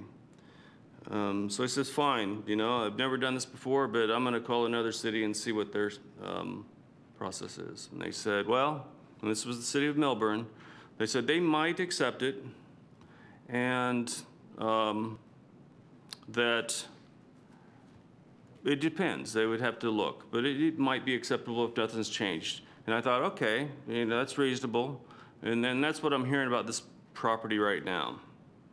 So I thought, well, okay, let me talk to the um, St. John's Water Management District because ultimately it's going to go to them no matter what.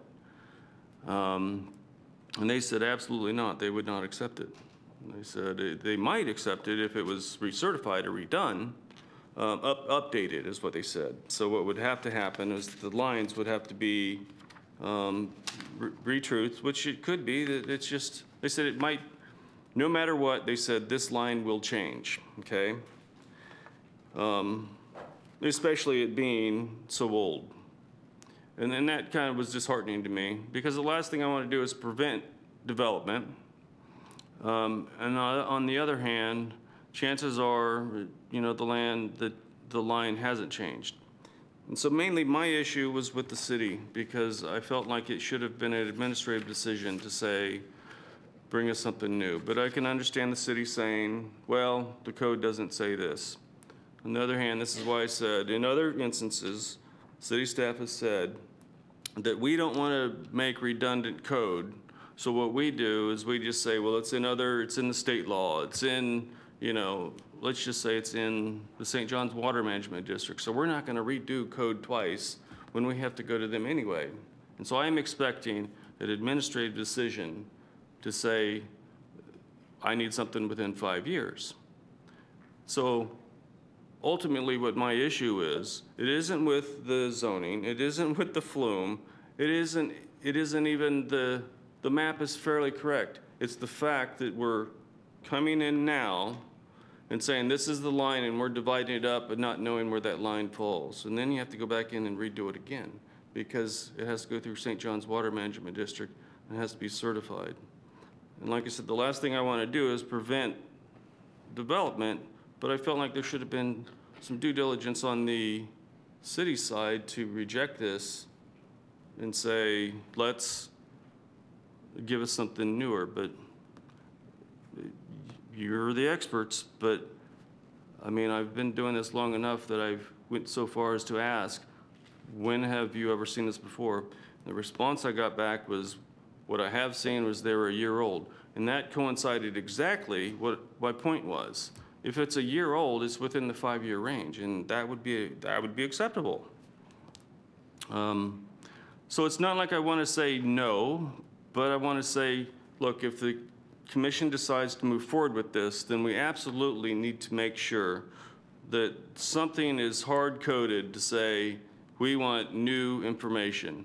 Um, My point to city staff was pretty clear, and, and believe me, I'm, I'm more than, I think highly of all of the city staff, but this was an oddball for me. Um, and this is specifically why I wanted to give you the opportunity, I wanted to be able to say something and then for you to um, come back and um, change my mind or, or explain to me how I'm wrong or, um, or ease my fears, you know?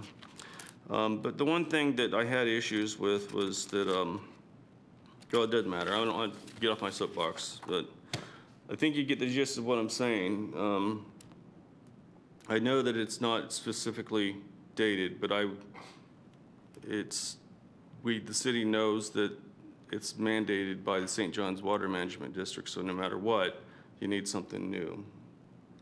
Um, that was it, that's all I'm gonna say. Are there any questions of staff or anything you want to say? And then we'll bring Mr. Fisher up to rebut. Okay, Mis- oh, hold on. Uh, Member Spidel. I'm concerned about, this looks far more like a conservation um, plat of land than it does a residential, and I am, I will echo exactly your concerns. You know, Okay. 20, oh, that's 14 years. And I'm concerned far more about wetlands and these endangered species. You've got a list of quite a few endangered species on that original. That's, we need to preserve those things. I just don't see an awful lot of, I think, is it, Mr. Fisher, I'm going to ask you, is it 50% of the, of the parcel can be developed? I don't think it's 50%.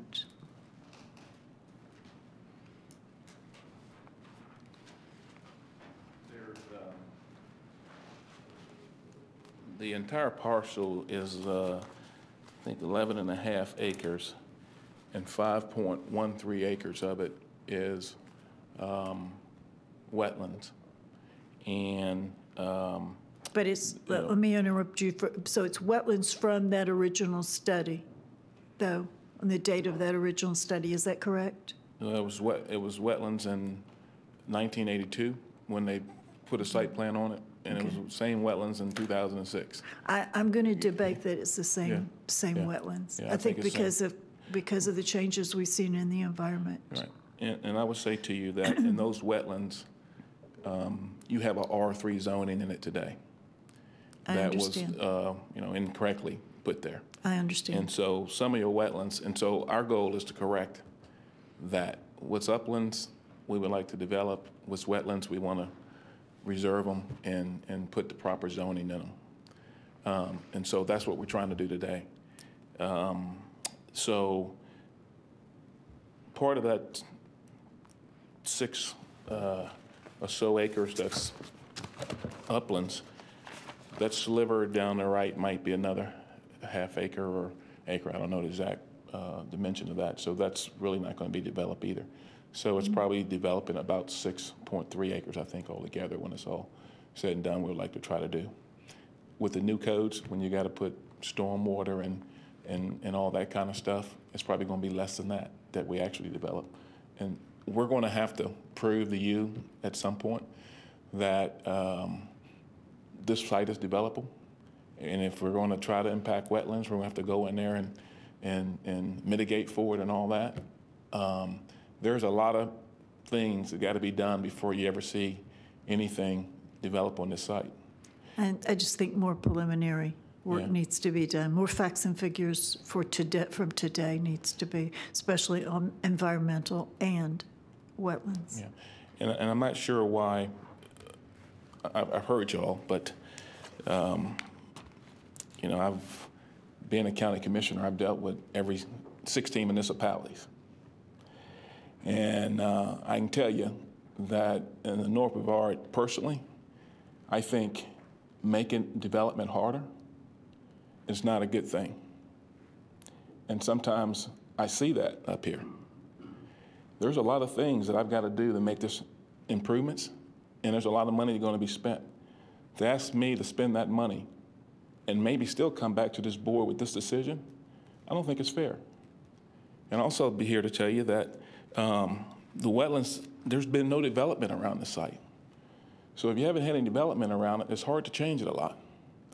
A lot of other places, you would probably possibly have a, a development here, a development here or there, and that could have maybe possibly impacted. The city owns a property to the west. The school board's been vacant for a number of years. And so there's, and those homes have been there for several years.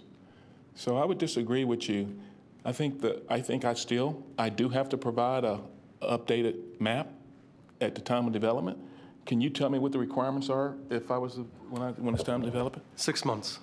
So at the time of a site plan submittal, we'll need up-to-date information within six months, date of submittal.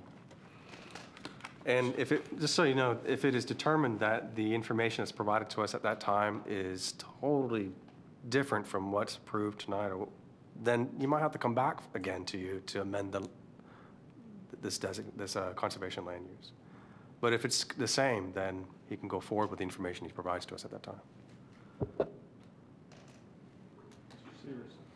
Uh, Just as a point of clarification, if uh, the city council ultimately approves this, the site plan, et cetera, this commission never sees again. So it's only if you change in boundaries of the comp plan or zoning. This commission, and, and that's one of the reasons why we ask lots of questions. That's one reason why I ask about the, the buffer. Because what staff does with it is up to staff. And so this is our only time to ask uh, uh, something uh, because that's the way the system is. So, just so you know. Yeah. And the gentleman, um, it was July 4th. I was leaving town on the 29th. I sent the letters out before I left town, and um, I think his wife said he actually got it on the 3rd, and I would have thought somewhere between the 3rd and the, tonight that, you know, or Saturday, I would have heard from somebody if they had a concern. So I didn't do it intentionally to try to not get response. Okay. Anything else? All right, thank you. And we'll close this uh, to the public. Um, Mr. Severs? Just as a, just as a reminder, um, what the uh, comprehensive plan says, as of 2009, the wetlands shown on the conservation land use on the future land use map uh, were established using the National Wetlands Inventory Map of 1988. These wetlands shown on this map have not been ground truth. In order to provide more accurate mapping of wetlands, when the city receives a wetland delineation on civic sites, the delineation will be accepted by the city of Titusville, and the future land use map will be amended accordingly. That's what it says. So, um, in my mind, uh, the question is whether, when the city receives, and that's, I agree with you, Mr. Chairman, this is an administrative decision, or unless the city council wants to make the decision about uh, whether you've received an updated map. I don't think that should be dumped on us to decide that. And I, I think that um, uh, if they want to process this application, then uh, I, I assume the city has accepted this map. Otherwise, they shouldn't process it. Uh, That's, that's only being fair to the applicant and fair to this commission. If you're going to submit something to it, I assume you accept that this is a acceptable uh, delineation as such. And that was my thoughts as well, is that I, I didn't blame the applicant. I thought it should have been stopped up front. Um, I think it should have, I truly felt it should have been up front. I, and that's why I came and I asked for previous acceptances of something so old. I didn't get anything. Uh, I went to the city attorney's office and I asked for opinion, but, and I sent you an email, but I didn't hear. And so maybe you have an opinion now, but I'm sure, um, but I wanted your opinion on this at that time too. Um, Here's the issue, um, in my mind. So we say, yes, I mean, you make a very valid point, that it shouldn't be, that that burden should not be put on the applicant. And I can agree to a certain ex- extent, I do. Um, But if that be the case, okay, then I think that, and then Peggy made this suggestion too, we definitely need to make a change, request a change to be made, to put that in there. But at the same time, it, it kind of makes me worried because um, how many more times are we going to hear, well, it's not dated. I, I didn't have that dated information. And I did make a point that if somebody was to submit a, let's just say a 30-year-old delineation, in, in, according to this logic, it would be accepted. but I wouldn't think it would be, but, I mean, in truth be told, then that means I could accept the 1988 But um, I'm just making the point that um, I'm shocked. I'm truly shocked at this. Um, So if, like I said, Melbourne made some sense to me. So I do have one question of staff then. So we go through this and the lines change, then what? What happens when um, the line moves a little bit in the map? Just a little bit. Do we need to, what do we need to do then? It, wait a minute, it goes to administrative, that's right, because that was changed. It's, it's considered a minor change, isn't it? I'm not sure what you're referring to. I I assume that you're asking is when they submit for a permit for a site plan? No, I'm talking about the zoning on it. The zoning in the future land use map will change according to the delineation. Correct. We There's know no- the delineation map will change, and that's why I say this, what was submitted is not accurate. There would be no rezoning without going through the proper process where the rezoning would come before the legislative body. But, no- but there is a, there was a process implemented years ago that gave the discretion to the city administrator to make minor deviations or minor changes on if, if, uh, you're My saying underst- that's not the case anymore? My understanding is that practice ceased before I started working there. You can't do that. You can't change the You boundaries of used the land to, use. so, Yeah. you used to. That's possible. There might have been a statute that might have allowed that, but that's But, um, not the case now. All right. Um, So then that being the case, what's going to happen when the map is different, the delineation is different than what you have? What we have is the same information that was used in order to create the conservation land use with the comp plan. So we, the comp plan asks the applicant to ground truth that, to provide that information to us. So as we responded to you in an email, uh, we don't have anything to base a requirement that they provide to us, something that's accurate within a certain amount of time from today's date. So we take that information, face value, uh, compare it with any information that we might have, which again, I stated was already based on old data. Um, and use that. If that is unacceptable, then uh, you can make that recommendation to, you make whatever recommendation you can, you can to the city council. I would say this, though, if you have an, we have an applicant who submits an application for a land use change, and we ask them to give us something more up to date, and they reject that and say, I'd still like to be heard at the public hearing, we don't have a basis to say they, to tell them that they cannot be heard at the public hearing. So that's what we see here in this case. We don't have anything to base uh, a requirement, say we need this uh, environmental study with, done complete in the past six months, for example. Now, when they come in for a site plan and engineering, we're going to require that we need up-to-date information at that stage. And if they provide that information and it's totally completely inconsistent with what we have here tonight, they might have to come back to you to get that change done. So it's the applicant's peril. this What. I'm asking, though, is that the, the ground truthing determines the difference between what's conservation and wetlands and what's considered uplands. And so when that line moves, I mean, we are literally doing an overlay on saying this is, this is uplands, this is by that 13-year-old delineation marker. And I'm just simply asking, so when that doesn't align up, what happens then? Do we have to go through rezoning again to do a correction from that misalignment? I'm not understanding your question about the misalignment. Uh, I guess a better way of saying, if I gave you a 30-year-old delineation map, the city would accept that as truthful. If it is more accurate than the so, information that we have, yeah, if it's point more up is, to is date. that it's completely off, okay? And so now I, it's an acre difference, two acres difference, okay? From what is considered conservation and what is going to be considered, uh, you know, downtown or whatever we're zoning this. But the point is, is that, so now the zoning is intact for that. The land, uh, density units per acre is based on that.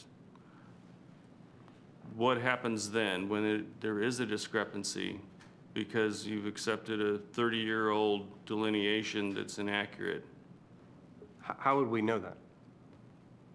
Well, other than the information that's provided to us by the applicant, it may be more I'm accurate. giving you a up to wild date. scenario, but that scenario seems to, it would work. I think that the scenario you're describing is, in this situation, if the rezoning turns out to not cover the land that he wants to build upon, then the applicant would have to provide an up-to-date wetland delineation showing the accurate line of where that upland is. I guess and we're then- talking past each other because I'm simply saying, does the zoning change or does the zoning hold that was approved?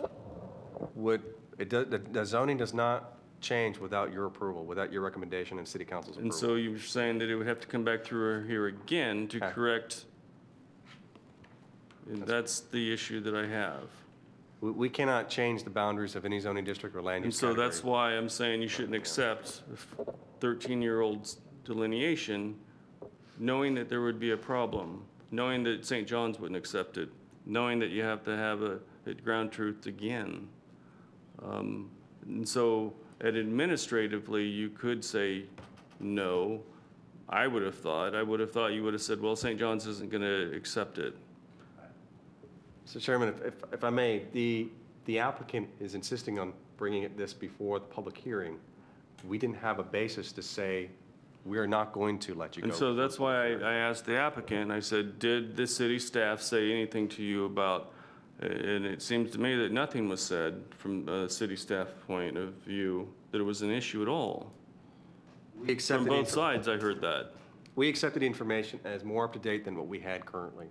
So we took that information. So if they go through a site plan and it turns out to be wrong or different, because they have to provide us more up to date, something within six months of the date the submittal of the site plan anyway, they have to come back to you. It, that just doesn't seem, it just seems crazy to me, honestly. I mean, I don't know any other way I can put it. I know that I shouldn't penalize, or should penalize the applicant for something like this, but I, then if we accept it, then I believe that we need to make sure that the policy's changed. That, but, I mean, how many more times are we gonna have to do this? Because of of data being accepted that we know that doesn't even get to uh, site plan, but, all right. um, Vice Chairman Severs. And Getting back to the agenda item, it's, it appears as if we're asked uh, two things. One, a comprehensive plan amendment, and the second is rezoning. Uh, It's the, the two issues, I do not see any uh, draft ordinances. I'm just looking back at page 39 of the recommended action at this stage. I- I'm assuming I, I'm correct. Uh, As far as, uh, and I realize there can be some debate, but I believe that the applicant did uh, substantially comply with the notice requirement of our comprehensive plan. That's me speaking, but that's, uh, I feel as though there was substantial compliance uh, as such. Uh, Based upon that, and based upon the language of the comprehensive plan, and I'm address the comprehensive plan first, um, I would uh, move that we recommend to the city council approval of the comprehensive plan amendment, uh, subject to two, two conditions. One, that uh, the city enter into the record written certifications of the acceptance of the ground truthing, or alternatively, it's either one, the St. John's provides a written uh, certification as to the ground truthing. That's the first condition. And the second condition would be that the, um, uh, there not be any road behind the properties on, um, uh, that butt up to uh, Hamlin? Hamlet Corridor Lane, whatever it is. That's the two conditions that I would suggest in that motion. All right, um, is there a second? Do I have a second? So we'll go t- for a third time. Is there a second? All right, the motion dies. Uh, Member Spidel? You had a- something you want to say? I see that Mr. Fisher's expense is a peril to purchasing his land. Is that, is that a correct assumption without this updating?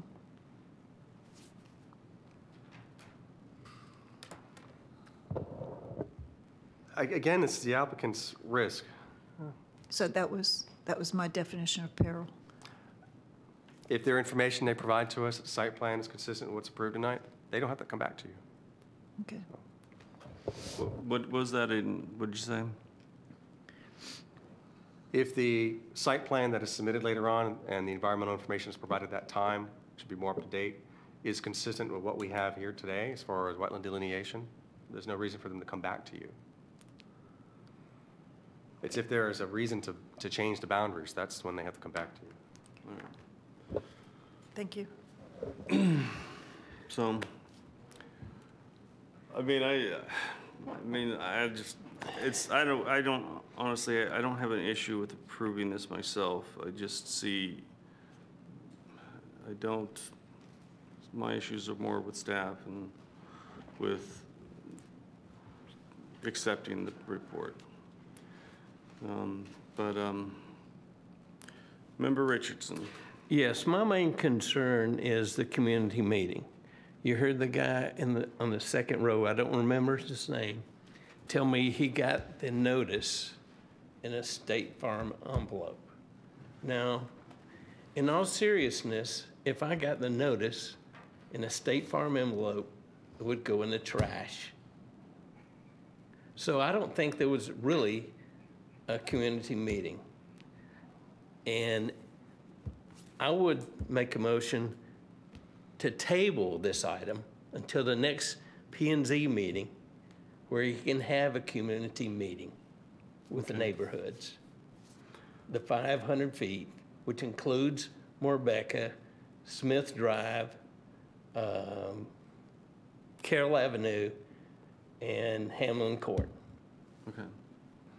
Um, yeah, and then I considered, I considered making that, uh, bringing it up in the beginning to whether the board accepted this, uh, in the beginning. Um, He made a motion, so, um, is there a second? Okay, pick, pick who you want to second it, so. All right, so we have a motion to table until the next meeting, and we have a second. So this is what's on the table, so if we can get a vote on this, please? Member Spidel? Yes. Member Baker? Yes. Vice Chairman Severs? Yes.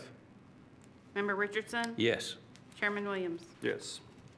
All right, so motion's tabled until next meeting for two weeks. What day is that?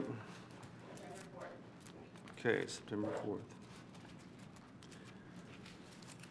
All right.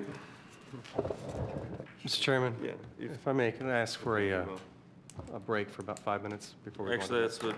Okay. yeah, so if we, take a break. however long All you- right. That's what you We'll get in- for having that How water. about we say so we'll adjourn in exactly 10 minutes, 8:00, we'll just say 8:05, nobody can be late this time, Thank you. okay?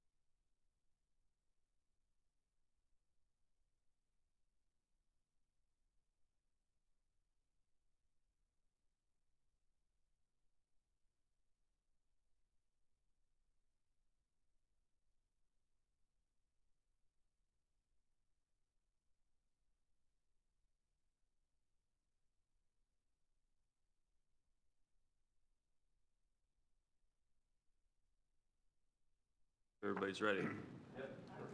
All right. Go to, uh, is it item 9C? 9C is a comprehensive plan amendment, a regular text amendment. So this is amend the language or policies of the city's comprehensive plan. So this begins on page 84 of your packet.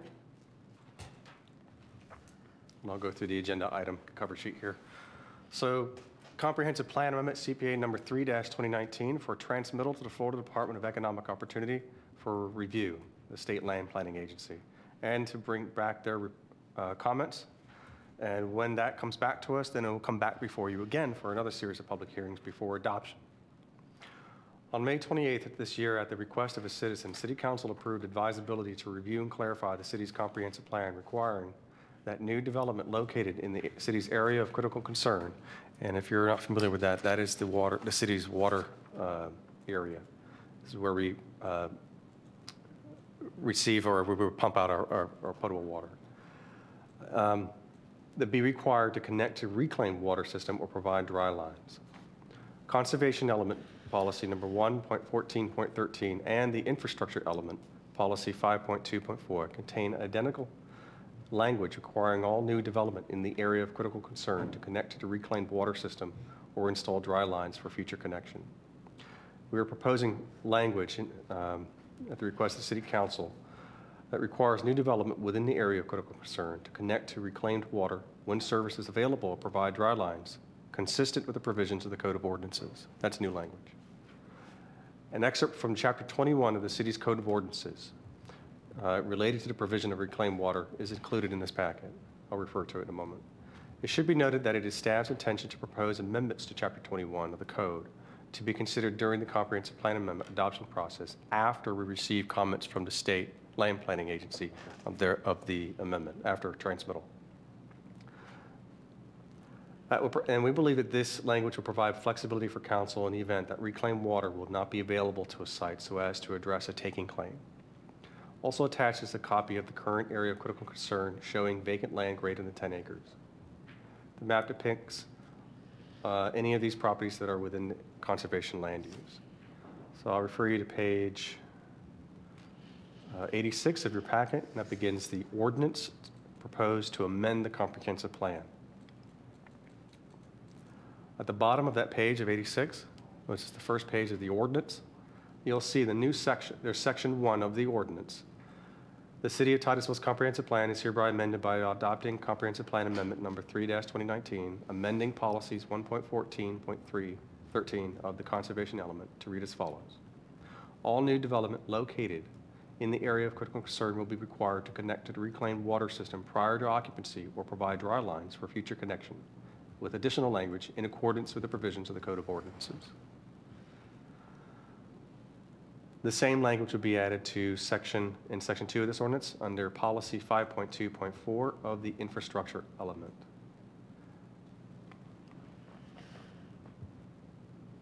On page 88 of your packet, we've included the excerpt from chapter 21 of the Code of Ordinances, and this is addressing specifically reclaimed water. So it's a fairly large section. We included the whole portion here related to reclaimed water, including uh, definitions, purpose statement on page 89 of your packet, promulgation and enforcement of reclaimed water service procedure regulations, beginning in that same page, 89 of your packet, under section 21-282.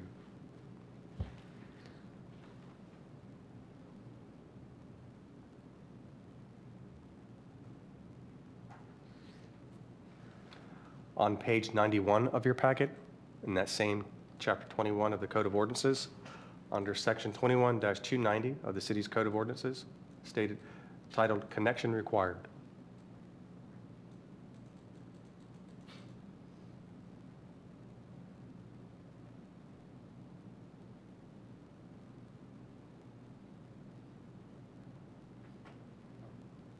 And then further down is just some information that is probably not going to be relevant here. We got it related to um, fees.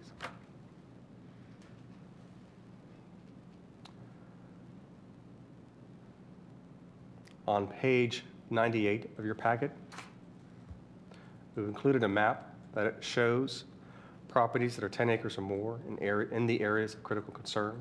We the city has two areas of critical concern. You can see them in the black boundaries on this map. These areas have additional development standard regulations to help protect our aquifer area, or uh, our recharge areas.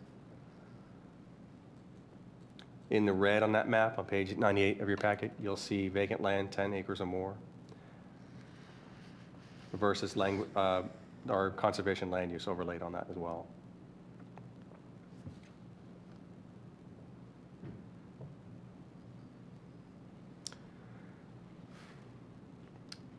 We believe this application, this uh, amendment will provide some flexibility uh, for city council to make a determination as to whether an applicant, when they request that um, they cannot, they do not want or or unable to put in dry lines in, the- for a new subdivision, for example, or new development um, in the area of critical concern, that the city council can make a determination as to whether that is warranted to give them an exemption from that.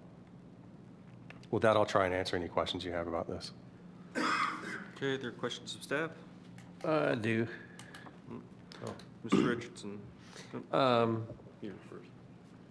As I recall, but this is old news. Okay, the black boundaries designate the area, areas of critical concern, right?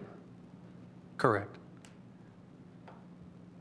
And Dwight, as I recall, aren't some of those well fields along Barna and what used to be Sun Valley?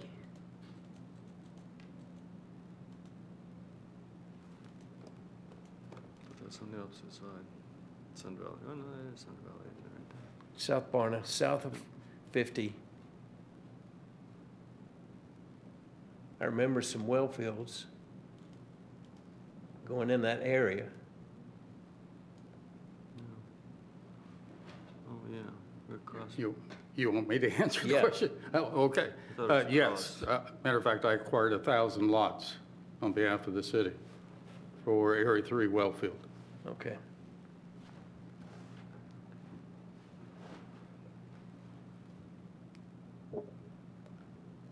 Is that it?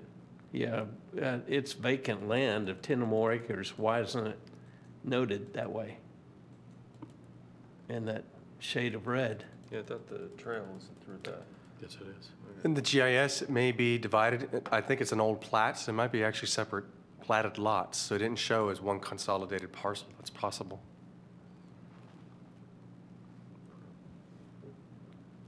A thousand lots? Yes, sir. It was the uh, Jimmy Hoffa sub- Yeah. subdivision. It was, seriously. There was always speculation, maybe he'd be buried out there. It was, Every city has one, seriously. Seriously. Teamsters bought Sun Valley property, Well, you know, he's got and it jokes. couldn't be developed. Uh,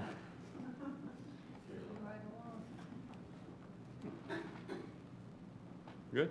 Yeah, All right, Mr. Severs. Uh, Staff has a map been furnished to um, the commission showing the location of the reclaimed water lines in the area of critical concern on the north and its relationship to where the well field, Area 2 well field is located.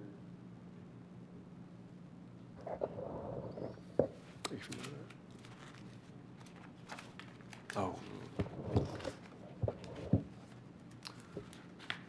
I believe there may be, but it might be in a different agenda item. No, I don't think so. Well, I asked for a copy of the- the map, and uh, it was produced. I I can, I don't know whether I have enough copies, but. uh, I've got it. It was sent to us. Was that Peggy. emailed to you? I I apologize. So- Okay. You- You have? Yes. Okay. What we're looking at. Yeah. North Washington. Do you know the volume of the water that uh, is distributed from the north plant uh, into the area of critical concern on the north?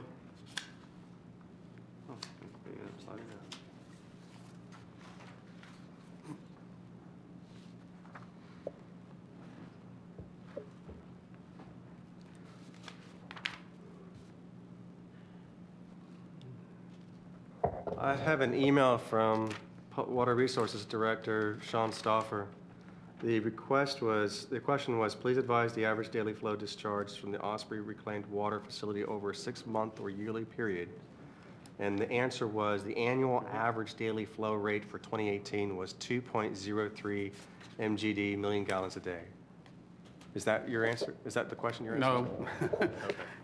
I w- I was more particularly asking how much of, uh, from that north treatment plant, Osprey plant, is distributed on the north area uh, of critical concern?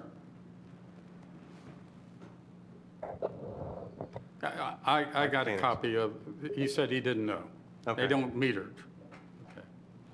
As you probably know, the only property that receives reclaimed water on, from the area of critical concern on the north is uh, the cemetery. It's the only place of my recollection that receives water.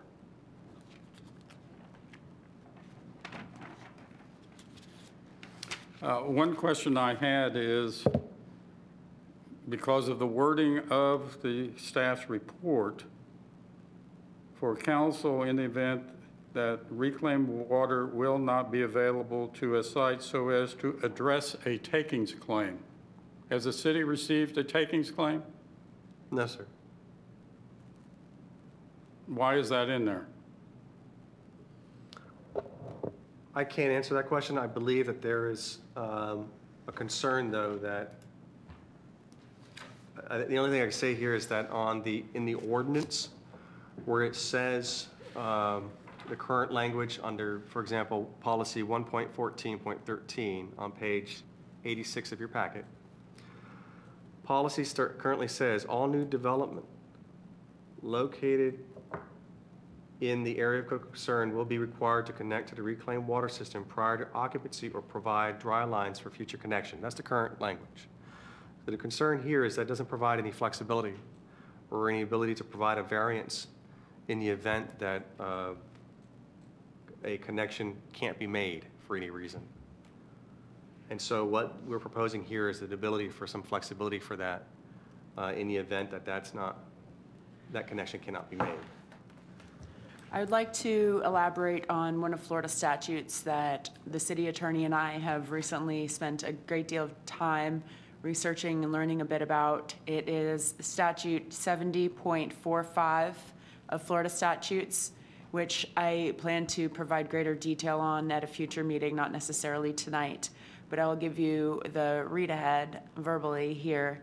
Section 70.45 1C, Florida statutes, defines uh, prohibited exaction, which is probably the word that should have been used rather than taking in the staff report.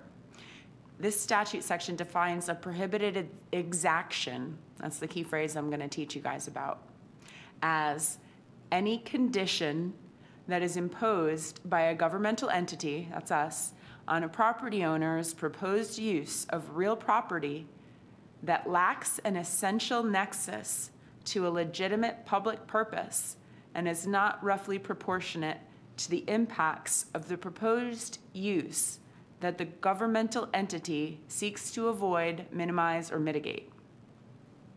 So, Section 70.45 Florida statutes was created specifically to provide landowners with an avenue to pursue an action for monetary damages against a governmental entity that would be suing us for an allegedly unconstitutional or prohibited exaction. So this is what we're seeking to avoid and provide greater flexibility by having language that gives an out. So as I understand your, what you said, then you're saying, uh, asking a property owner to install reclaimed water lines, which I think clearly serves a public purpose, that we can't require that. Unless it's into our plan that we are going to provide that water into, into the reclaimed water lines. Yeah, let me add, so after, if this is. I mean, you would agree that certainly requiring uh, the installation of water lines, uh, reclaimed water lines is a public purpose. Absolutely, we agree with that. We think this serves a public purpose. What we're trying to do is um, come up with some flexibility in the event there are certain area, instances where that can't be achieved. However, just so you understand, with, if this is approved for transmittal, after that, when it comes back to you again, at that time, we want to show you an ordinance that, some changes here, if needed, into that chapter 21, that gives some more guidance to us. And also, uh, we are planning to do, develop a, a master plan of reclaimed water and how, so plan out how it can be expanded over time. And that'll give us more guidance. And that certainly provides more legal guidance and defense in the issue, in the event when we do ask for connections in the future. Well, my, my question also is, we're in the process of reviewing the 2040 uh, draft comprehensive plan. Why isn't that issue a part of that process? We can certainly do that. Yeah, Okay, Yeah, absolutely. thank you. All right. All right, so we'll open this to the public. Do we have anybody on this signed up? No. All right, so we'll close this to the public and bring it back for the board. What would the commission like to do on this?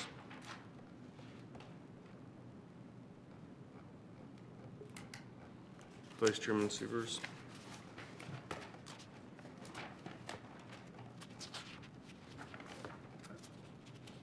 Certainly, I'm a believer in uh, whatever the city does, it must have a a proper public purpose and must properly um, uh, implement its plans. Uh, Part of the things that bothers me some is, uh, I don't know how long this provision has been in the comprehensive plan, but I gather for some time, as to why the city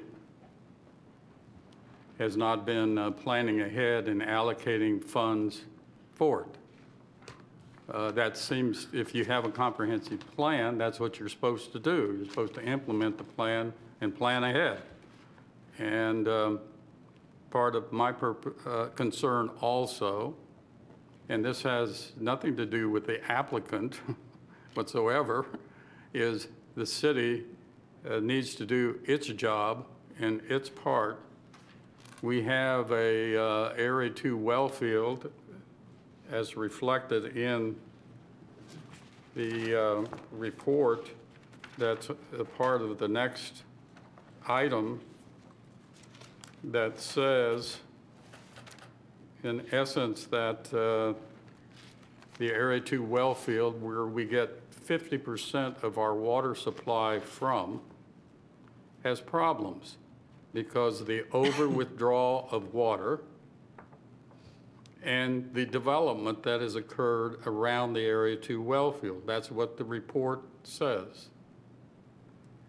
And unless reclaimed water lines are installed in this area to, to help supplement uh, the Area 2 well field, we are only shooting ourselves in the foot even more because certainly if- someone develops a subdivision here, they're going to have individual wells and draw water out of the same area that we're drawing water out of. And does that make common sense? I agree, we should work with the developer to try to resolve this issue, but my concern is why in the world the city hasn't been looking ahead all along. I, I did secure, for a number of years, the city was allocating and budgeting funds for uh, a future project for reclaimed water. Why in 2005, 15, 2016, it had stopped doing that, I don't understand why. And I think the city uh, manager and his staff need to be very upfront as to, since we have a declining well field and we're drawing too much water out of it and we get 50% of our water from that resource, why aren't we trying to protect it? Certainly, it appears on its face based upon the language in the next ordinance that someone drafted, I assume city staff did, you make the following findings of fact, whereas the city, excuse me, whereas the beneficial re- reuse at least 75% of the wastewater generated by a municipal service customer is required by the city's consumptive use permit issued by St. John's, whereas the use of reclaimed water is a valuable resource to be utilized in replenishing local groundwater, especially in the area of critical concern. It does not appear to me, based upon the information that's been supplied, that we are using more than 5 or 10% at the very most of the North Treatment Plant, which is sized for 2.75 million gallons a day being distributed over on the Area 2 well field area. And I frankly do not understand the reasoning or the logic uh, as such. Um, I mean, if the city needs to, because of a legal standpoint, uh, revisit its policy, then fine. But the city likewise needs to do the responsible thing and protect its water resource. It's just reality. And one of the interesting things to me, and unfortunately, right or wrong, I've been involved in in acquiring wells in the Area 2 well fields, acquiring all the wells in the Area 3 well fields, negotiating the contract for supplemental water from the city of Cocoa, and spent 10 years acquiring the rights in the Area 4 well field. And I've listened to hydrologists and everybody saying, please protect your well field.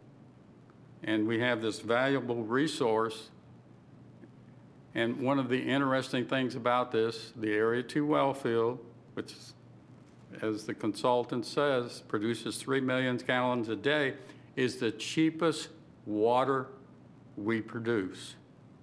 And if we're not willing to spend money to protect that resource, does that make sense?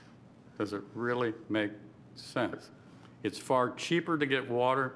That's what the studies show, cheaper to get water from the Area 2 than from Area 4.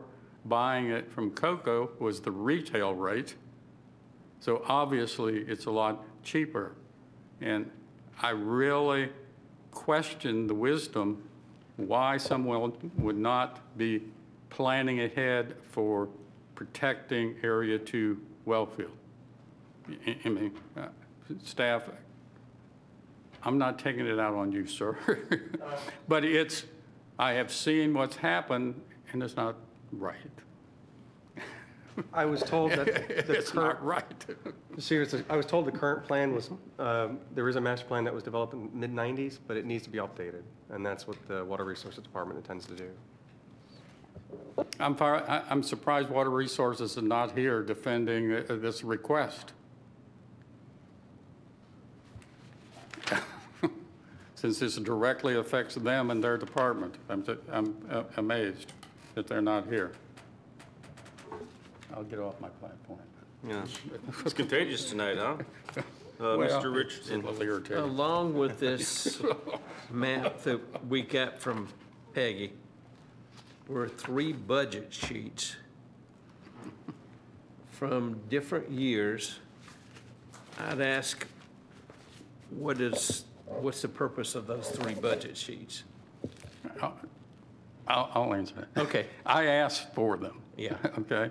I. Because I wanted to see how much money the city was allocating for funds for uh, reclaimed water lines. It And as, as you will see, they stopped funding it Yeah. in 2014. There's nothing on these budget sheets, the most recent budget sheets, that they're funding it now. Correct. Okay. And, and the proposed budget for 2019-20, they haven't included any money in that either.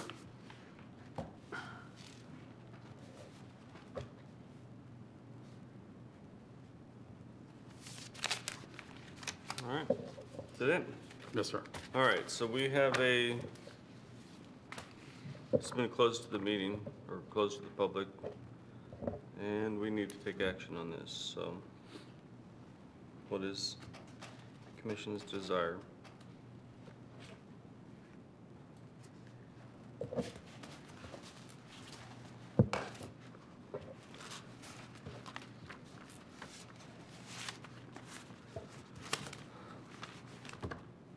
Well, Dwight? I defer.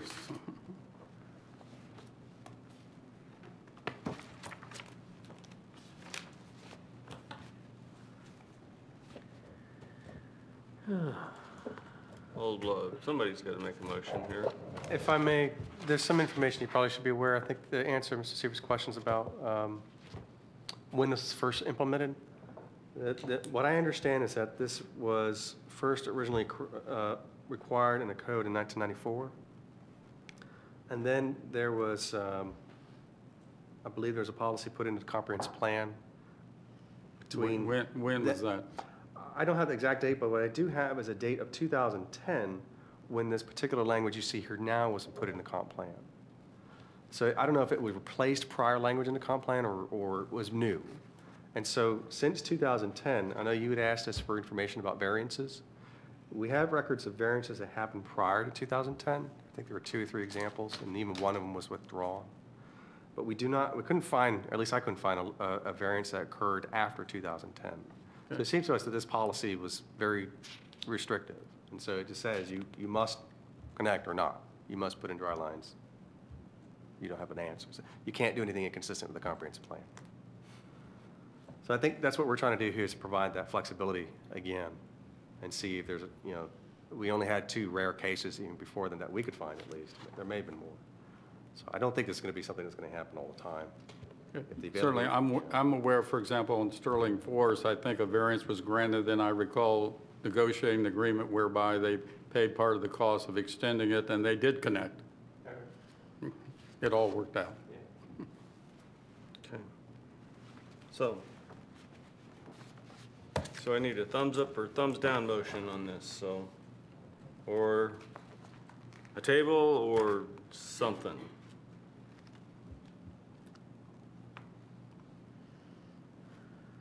Like, going back to this, it's like, is this thing on? So. Mr. Severs. Oh, sorry. Oh, yeah, that's you. So, I saw one and then, it's getting late. I would uh, move that we recommend to the city council that they uh, transmit uh, with the proviso that uh, within uh, 60 or 90 days, we receive a report from the city manager's office indicating their plan as far as um, implementing a plan for installation of reclaimed water lines within the area uh, to Wellfield area. Second. All right, we have a motion and a second. Can we take a vote on this? Member Spidel? Yes. Member Baker? Yes. Member Richardson? Yes. Vice Chairman Severs? Yes. Chairman Williams? Yes. Okay. Next item, please.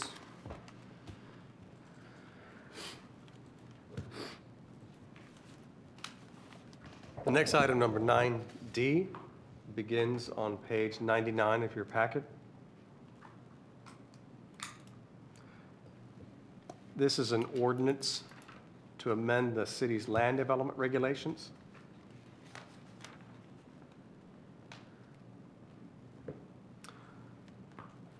And on page 99, I'll read the summary here. On May 28, 2019, upon a request by a citizen, the city council approved advisability for staff to review and clarify policy language in the land development regulations, specifically section 30-207, related to the area of critical concern performance standards.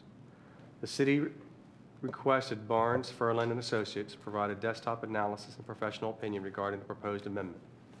The conclusion of the report, which is included in your packet here, found in section six, conclusion states in part that BFA concurs with the proposed amendment to the area of critical concern, code section thirty two oh seven, specifically subparagraphs two C, retention and discharge requirements.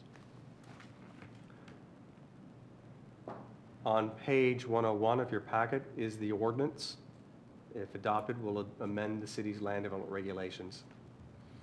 You'll see on section one of the ordinance, it refers to section three, thirty two oh seven, area of critical concern performance, which is in the land development regulations, subparagraph A, two, C. And you'll see on page, on the next page, page one oh two of your packet, in red, the, the language that's being struck through and the language that's being added.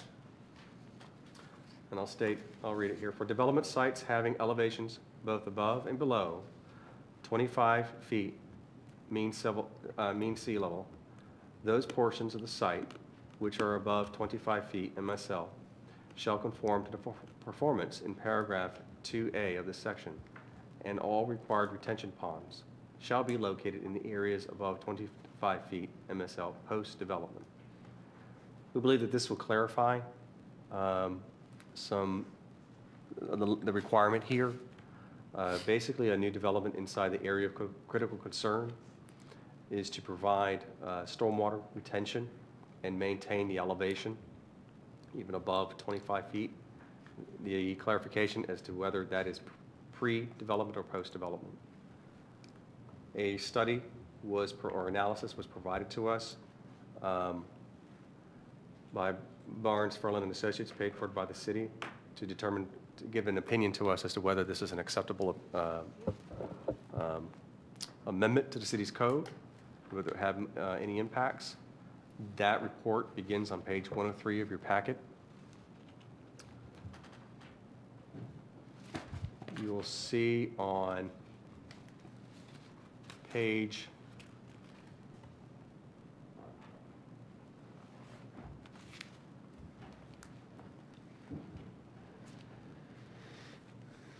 Uh, Excuse me, I believe that the uh, cover page referred to the conclusions. Section six, excuse me.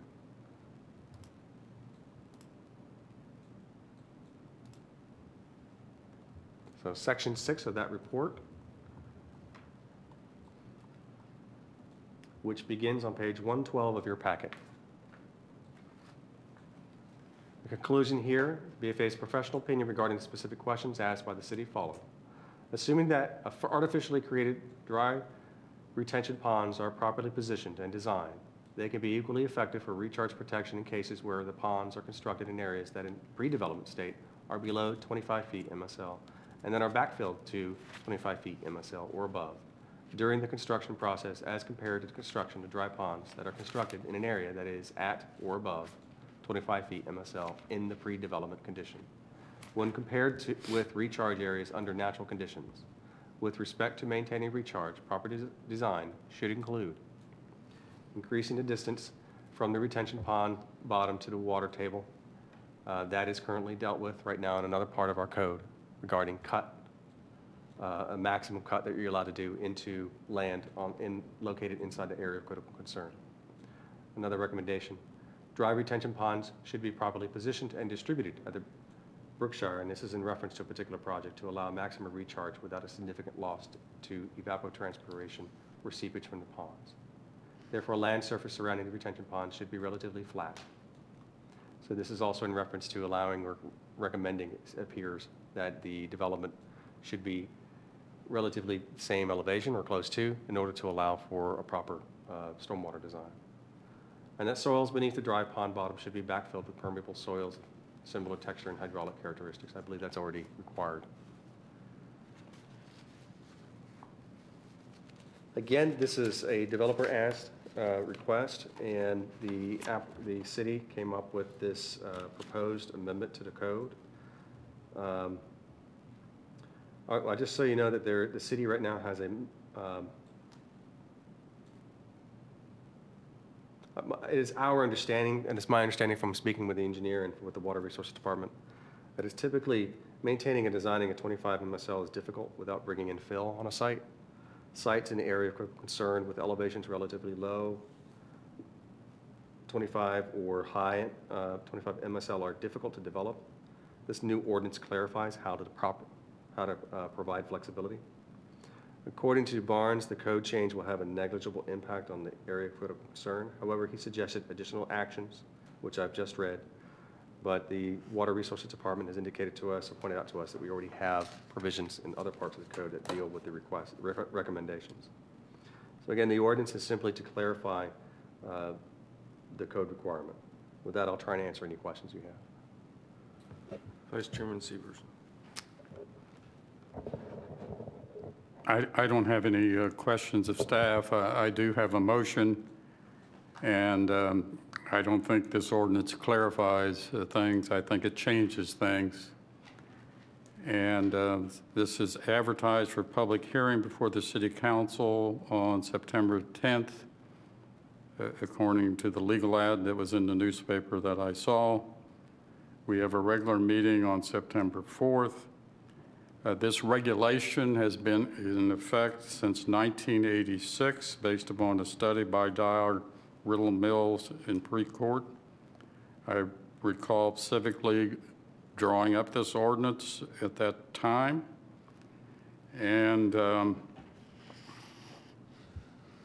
the staff's report is solely based upon the report and recommendation by Barnes Follen- uh, Ferland. And uh, it contains certain analysis, assumptions, et cetera, with regard to the Brookshire subdivision. Uh, I requested on Thursday, August 15th, a if a representative from Barnes Ferland was going to be available at the Planning and Zoning Commission meeting to, uh, so that if we had any questions, that we could ask some questions. I received a response on August 16th that said, Dwight, there will not be a representative Barnes Ferland at the P and Z meeting, period. I believe it's particularly important that we do our jobs and we do it properly if we're going to change a 30-year requirement.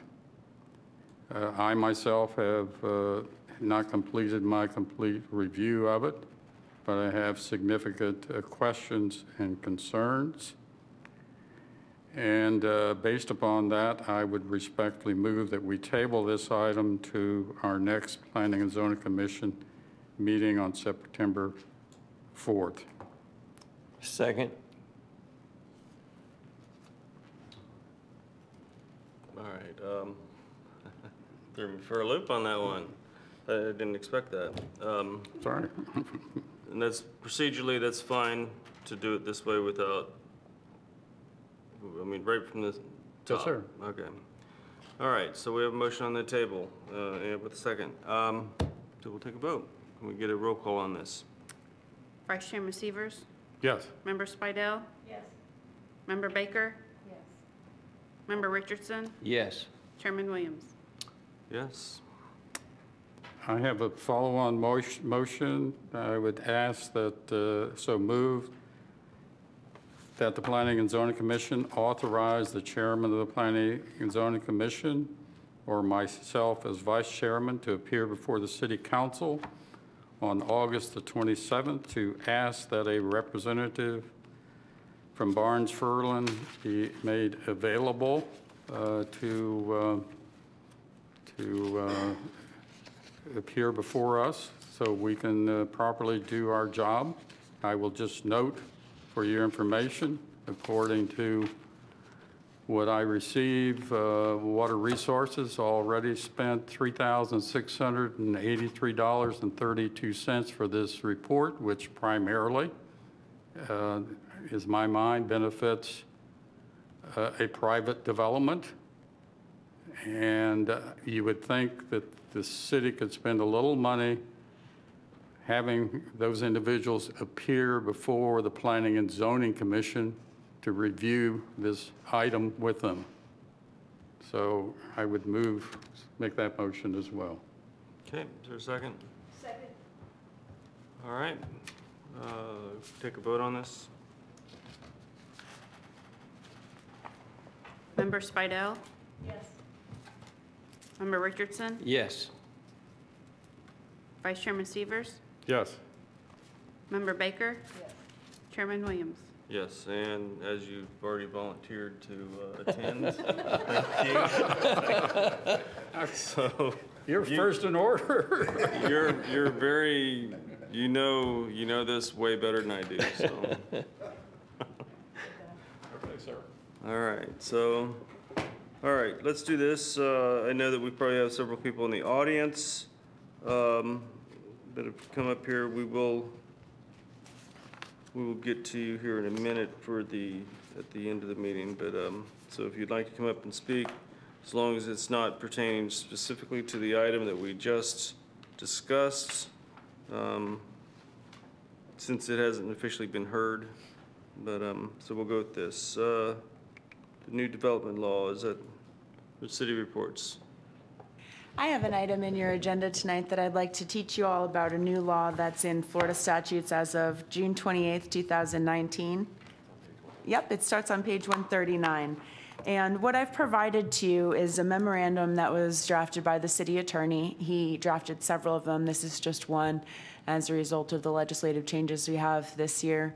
And it is a lot of technical stuff, but I'd like to point your attention to the laws of Florida on page 153 of your agenda packet.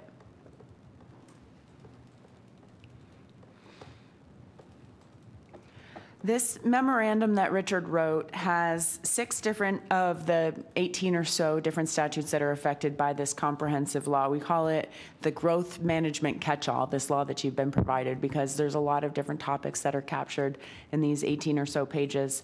And under section seven of the laws of Florida, I'm sorry, section eight on page 153. It's the beginning of one, end of 152, starts on 153 there. Development permits and orders.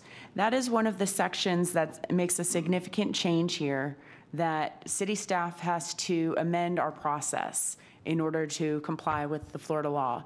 And it's going to have an impact on you all here because it's going to create timelines and date certain that the staff has to respond to applicants specifically talks about development permits. Florida statutes does define development permits to include any building permit, zoning permit, plat approval, or rezoning, certification variance, or other action having the effect of permitting development as defined by Florida law.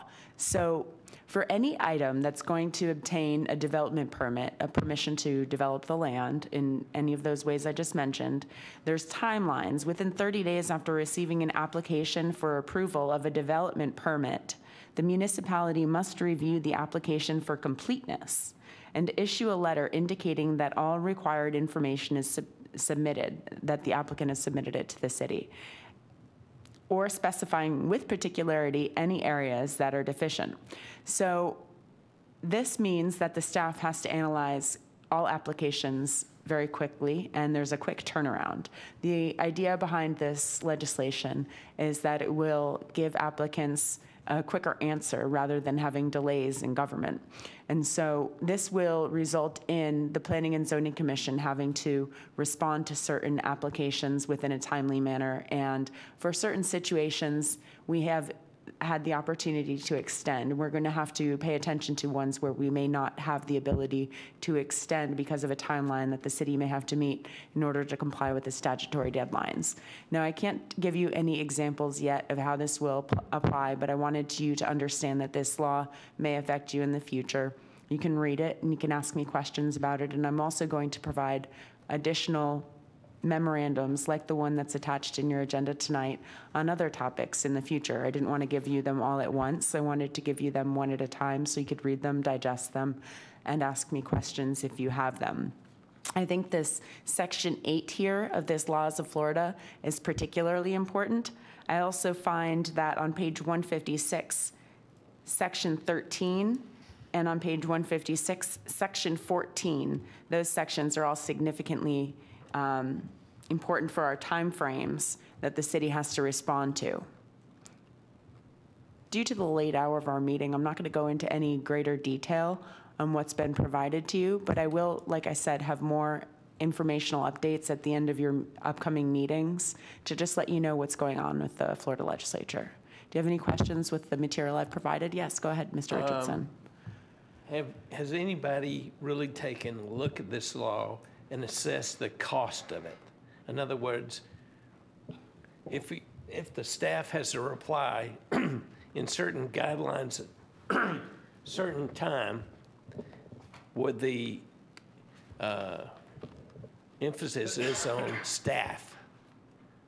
Can they meet the time limits? I can tell you that that, I don't know if there's been a statewide analysis, but for our city, when we met uh, with staff to discuss how we are going to implement the new statutory requirements, for the most part, we are doing things along with the statutory guidelines, and I don't know that it's going to make a significant change in their protocol as far as the review time that we're currently practicing.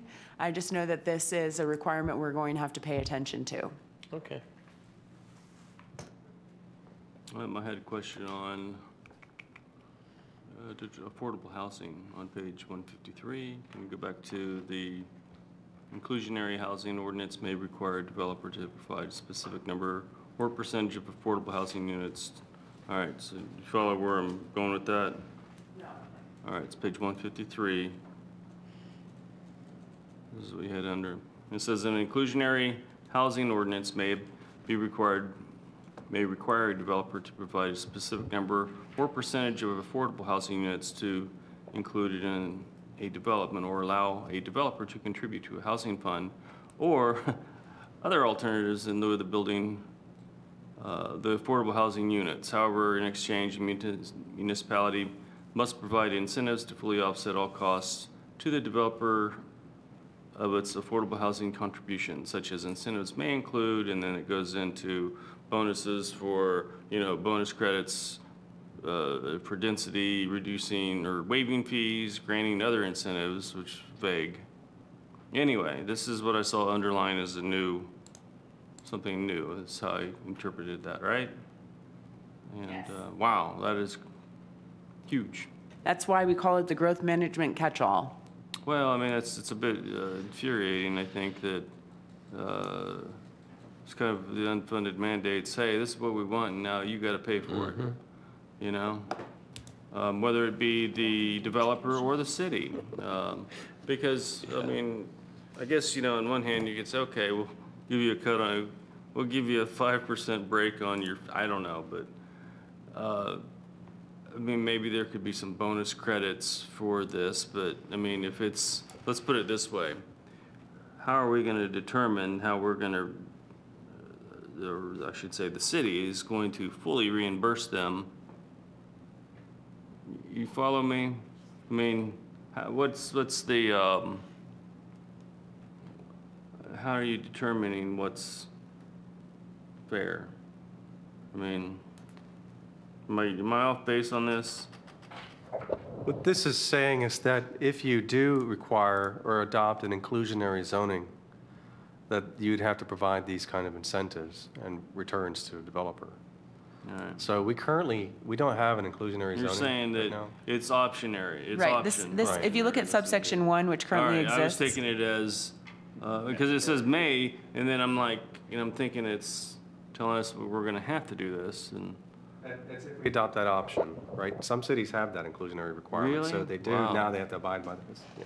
well, I mean, who would do that? I mean, that's, uh, I don't understand how that, okay. Okay. So, is that it? Yeah, that concludes my report. All right, thank you. Kind of laughing, I, I did misinterpret that because it's, uh, I was thinking it was something we had to do and.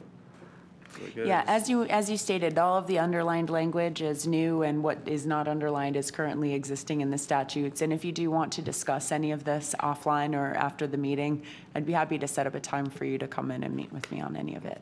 Okay, and then we got the city council summary of actions, which I think we've all read. Um, is there anything else you'd like to report, uh, from city staff?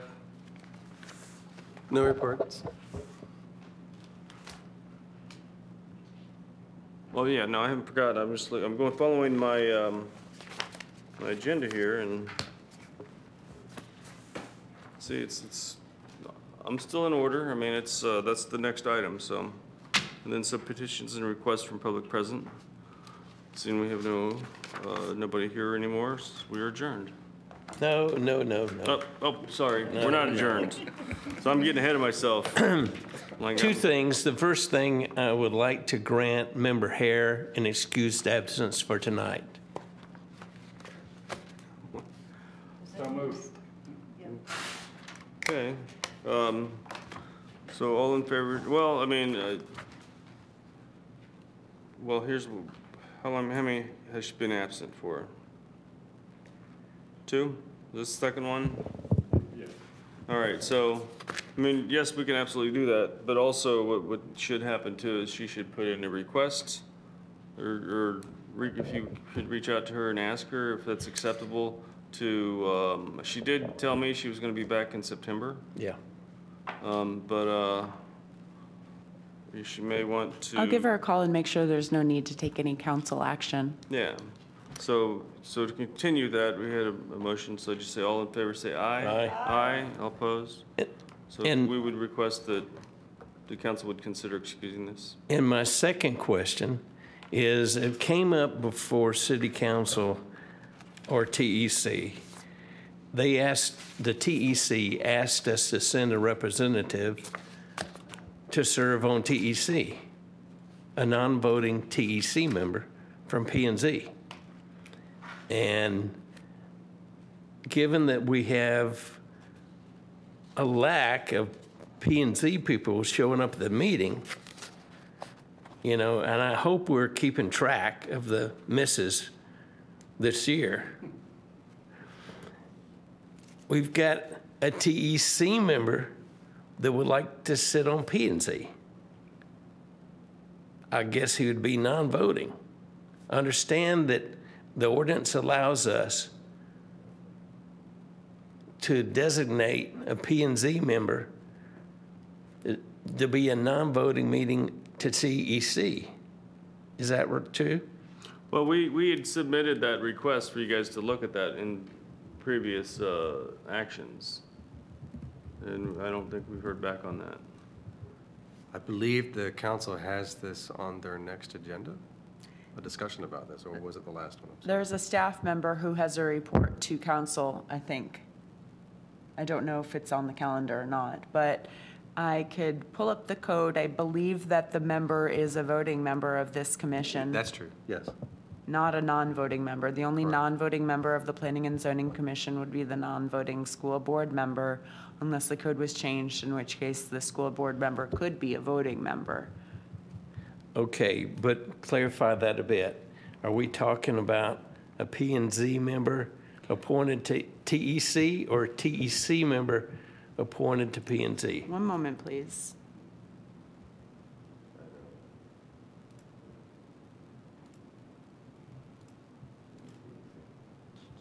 Didn't we discuss? I was asked this question while having lunch with one of the council I thought members. you were even talking about.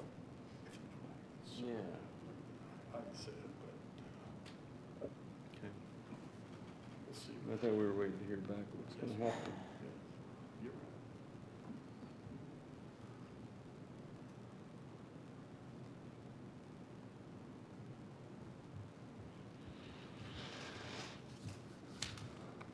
Both of you must be looking it up. Yeah, so, and here it is, Chelsea. It's in 31-122 at the A of the code. At least one member of the commission shall currently be, okay. The Titusville Environmental Commission may designate a member to serve as alternate to the Titusville Environmental Commission member, I'm sorry. At least Oh, yeah, one of the members of the Titusville Environmental Commission shall be, currently be a member of the City of Titusville Planning and Zoning Commission. The TEC may designate a member to serve as an alternate to the TEC member that is the current member of the Planning and Zoning Commission. So the person who is serving the dual role could be an alternate to the TEC, but whoever serves the dual role shall be a regular member of the Planning and Zoning Commission. Okay, that And was so, my question. Of your regular membership, who wants to be either a regular alternate member of the TEC is the way that the code is currently written. But there is always room for the council to amend the way the code is written so that it could have a different framework. Okay. And I think that's why it's going to council, so they can look at that and decide if they want to change it or keep it as is. Okay. Um, My next point is, given that we have workshops uh, for the 2040 comprehensive plan, I think it's incumbent that we have as many active members of P and Z meetings. What was that? I think it's incumbent on us to have as many members at P and Z meetings. Because we're, we're de- dealing with workshop on the 2040 comprehensive plan. They need to be here. I will add that your alternate member, um, Taylor? Is submitting a request for a leave of absence due to personal reasons until November 13th for this board. She's your alternate member, so her attendance requirements are slightly different. They're more stringent for the regular members because alternate members are asked to appear in the event that a regular member is absent from the meeting. There are seven regular positions and two alternate positions, and a vacancy in the non-voting school, school board member Okay. position. As I recall, at every code enforcement meeting, uh, an attendance list was passed out that covered the last six months. Who was there, who was absent. But I haven't seen that on P and Z yet. We have that record, we just haven't passed it out. I believe it was asked for at the code enforcement meeting specifically. I think that's why it was passed out. We do have that information available, and we provide it to council when they request it, because they're the ones who appoint the members, and they do take into consideration the attendance record of the members. Well, if it's going to be reported to council, just as in the case of the code enforcement, I would request that it be passed out to us at every meeting. We can certainly do that. It- Y'all object? I mean, I get it when somebody's on the naughty list, I mean, but, uh, and, yeah, it's, I don't think it's that big of a deal. But you're saying every meeting? Every meeting. Well, Well, but what does that once a achieve? month. Okay. Once a month. Um, Okay, I mean, yeah, if that's what you want, I mean, that's, I don't, I mean, even if you could email it out to us, would that be safe? It doesn't matter. Everybody has emails, right? Yeah. Okay, well, uh, okay, so what, what would you, uh, yeah, hey, I apologize for skipping, I'm like, I wanted to get out of here, I guess, but I didn't even, um, so is it fine? I mean, do we have to take action? Is that what you would like, or do we have to We take a hear you. vote? Okay. Um, Member Spidell? Yes, sir. Is there anything you would like to say, report? Fabulous. Okay.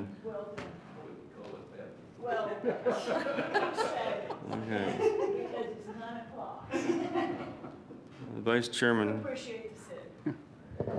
Uh, I have two items I'd like to mention. Uh, I had planned on bringing them up uh, on the July 17th meeting. Unfortunately, I wasn't here. Uh, One of the item I would like to uh, say, I was a little delayed, on the Riverwalk uh, project, I was happy to see uh, that finally uh, an applicant came forward that utilized all the land. They didn't have those two little outcroppings called future development that uh, created problems for this board. Uh, That is the way it should have been taken care of from the very beginning, rather than creating a uh, controversy. And uh, I, uh, I'm glad to see that was finally resolved. The second item is, and I'll, I'll pass down uh, a copy of a development order that was entered.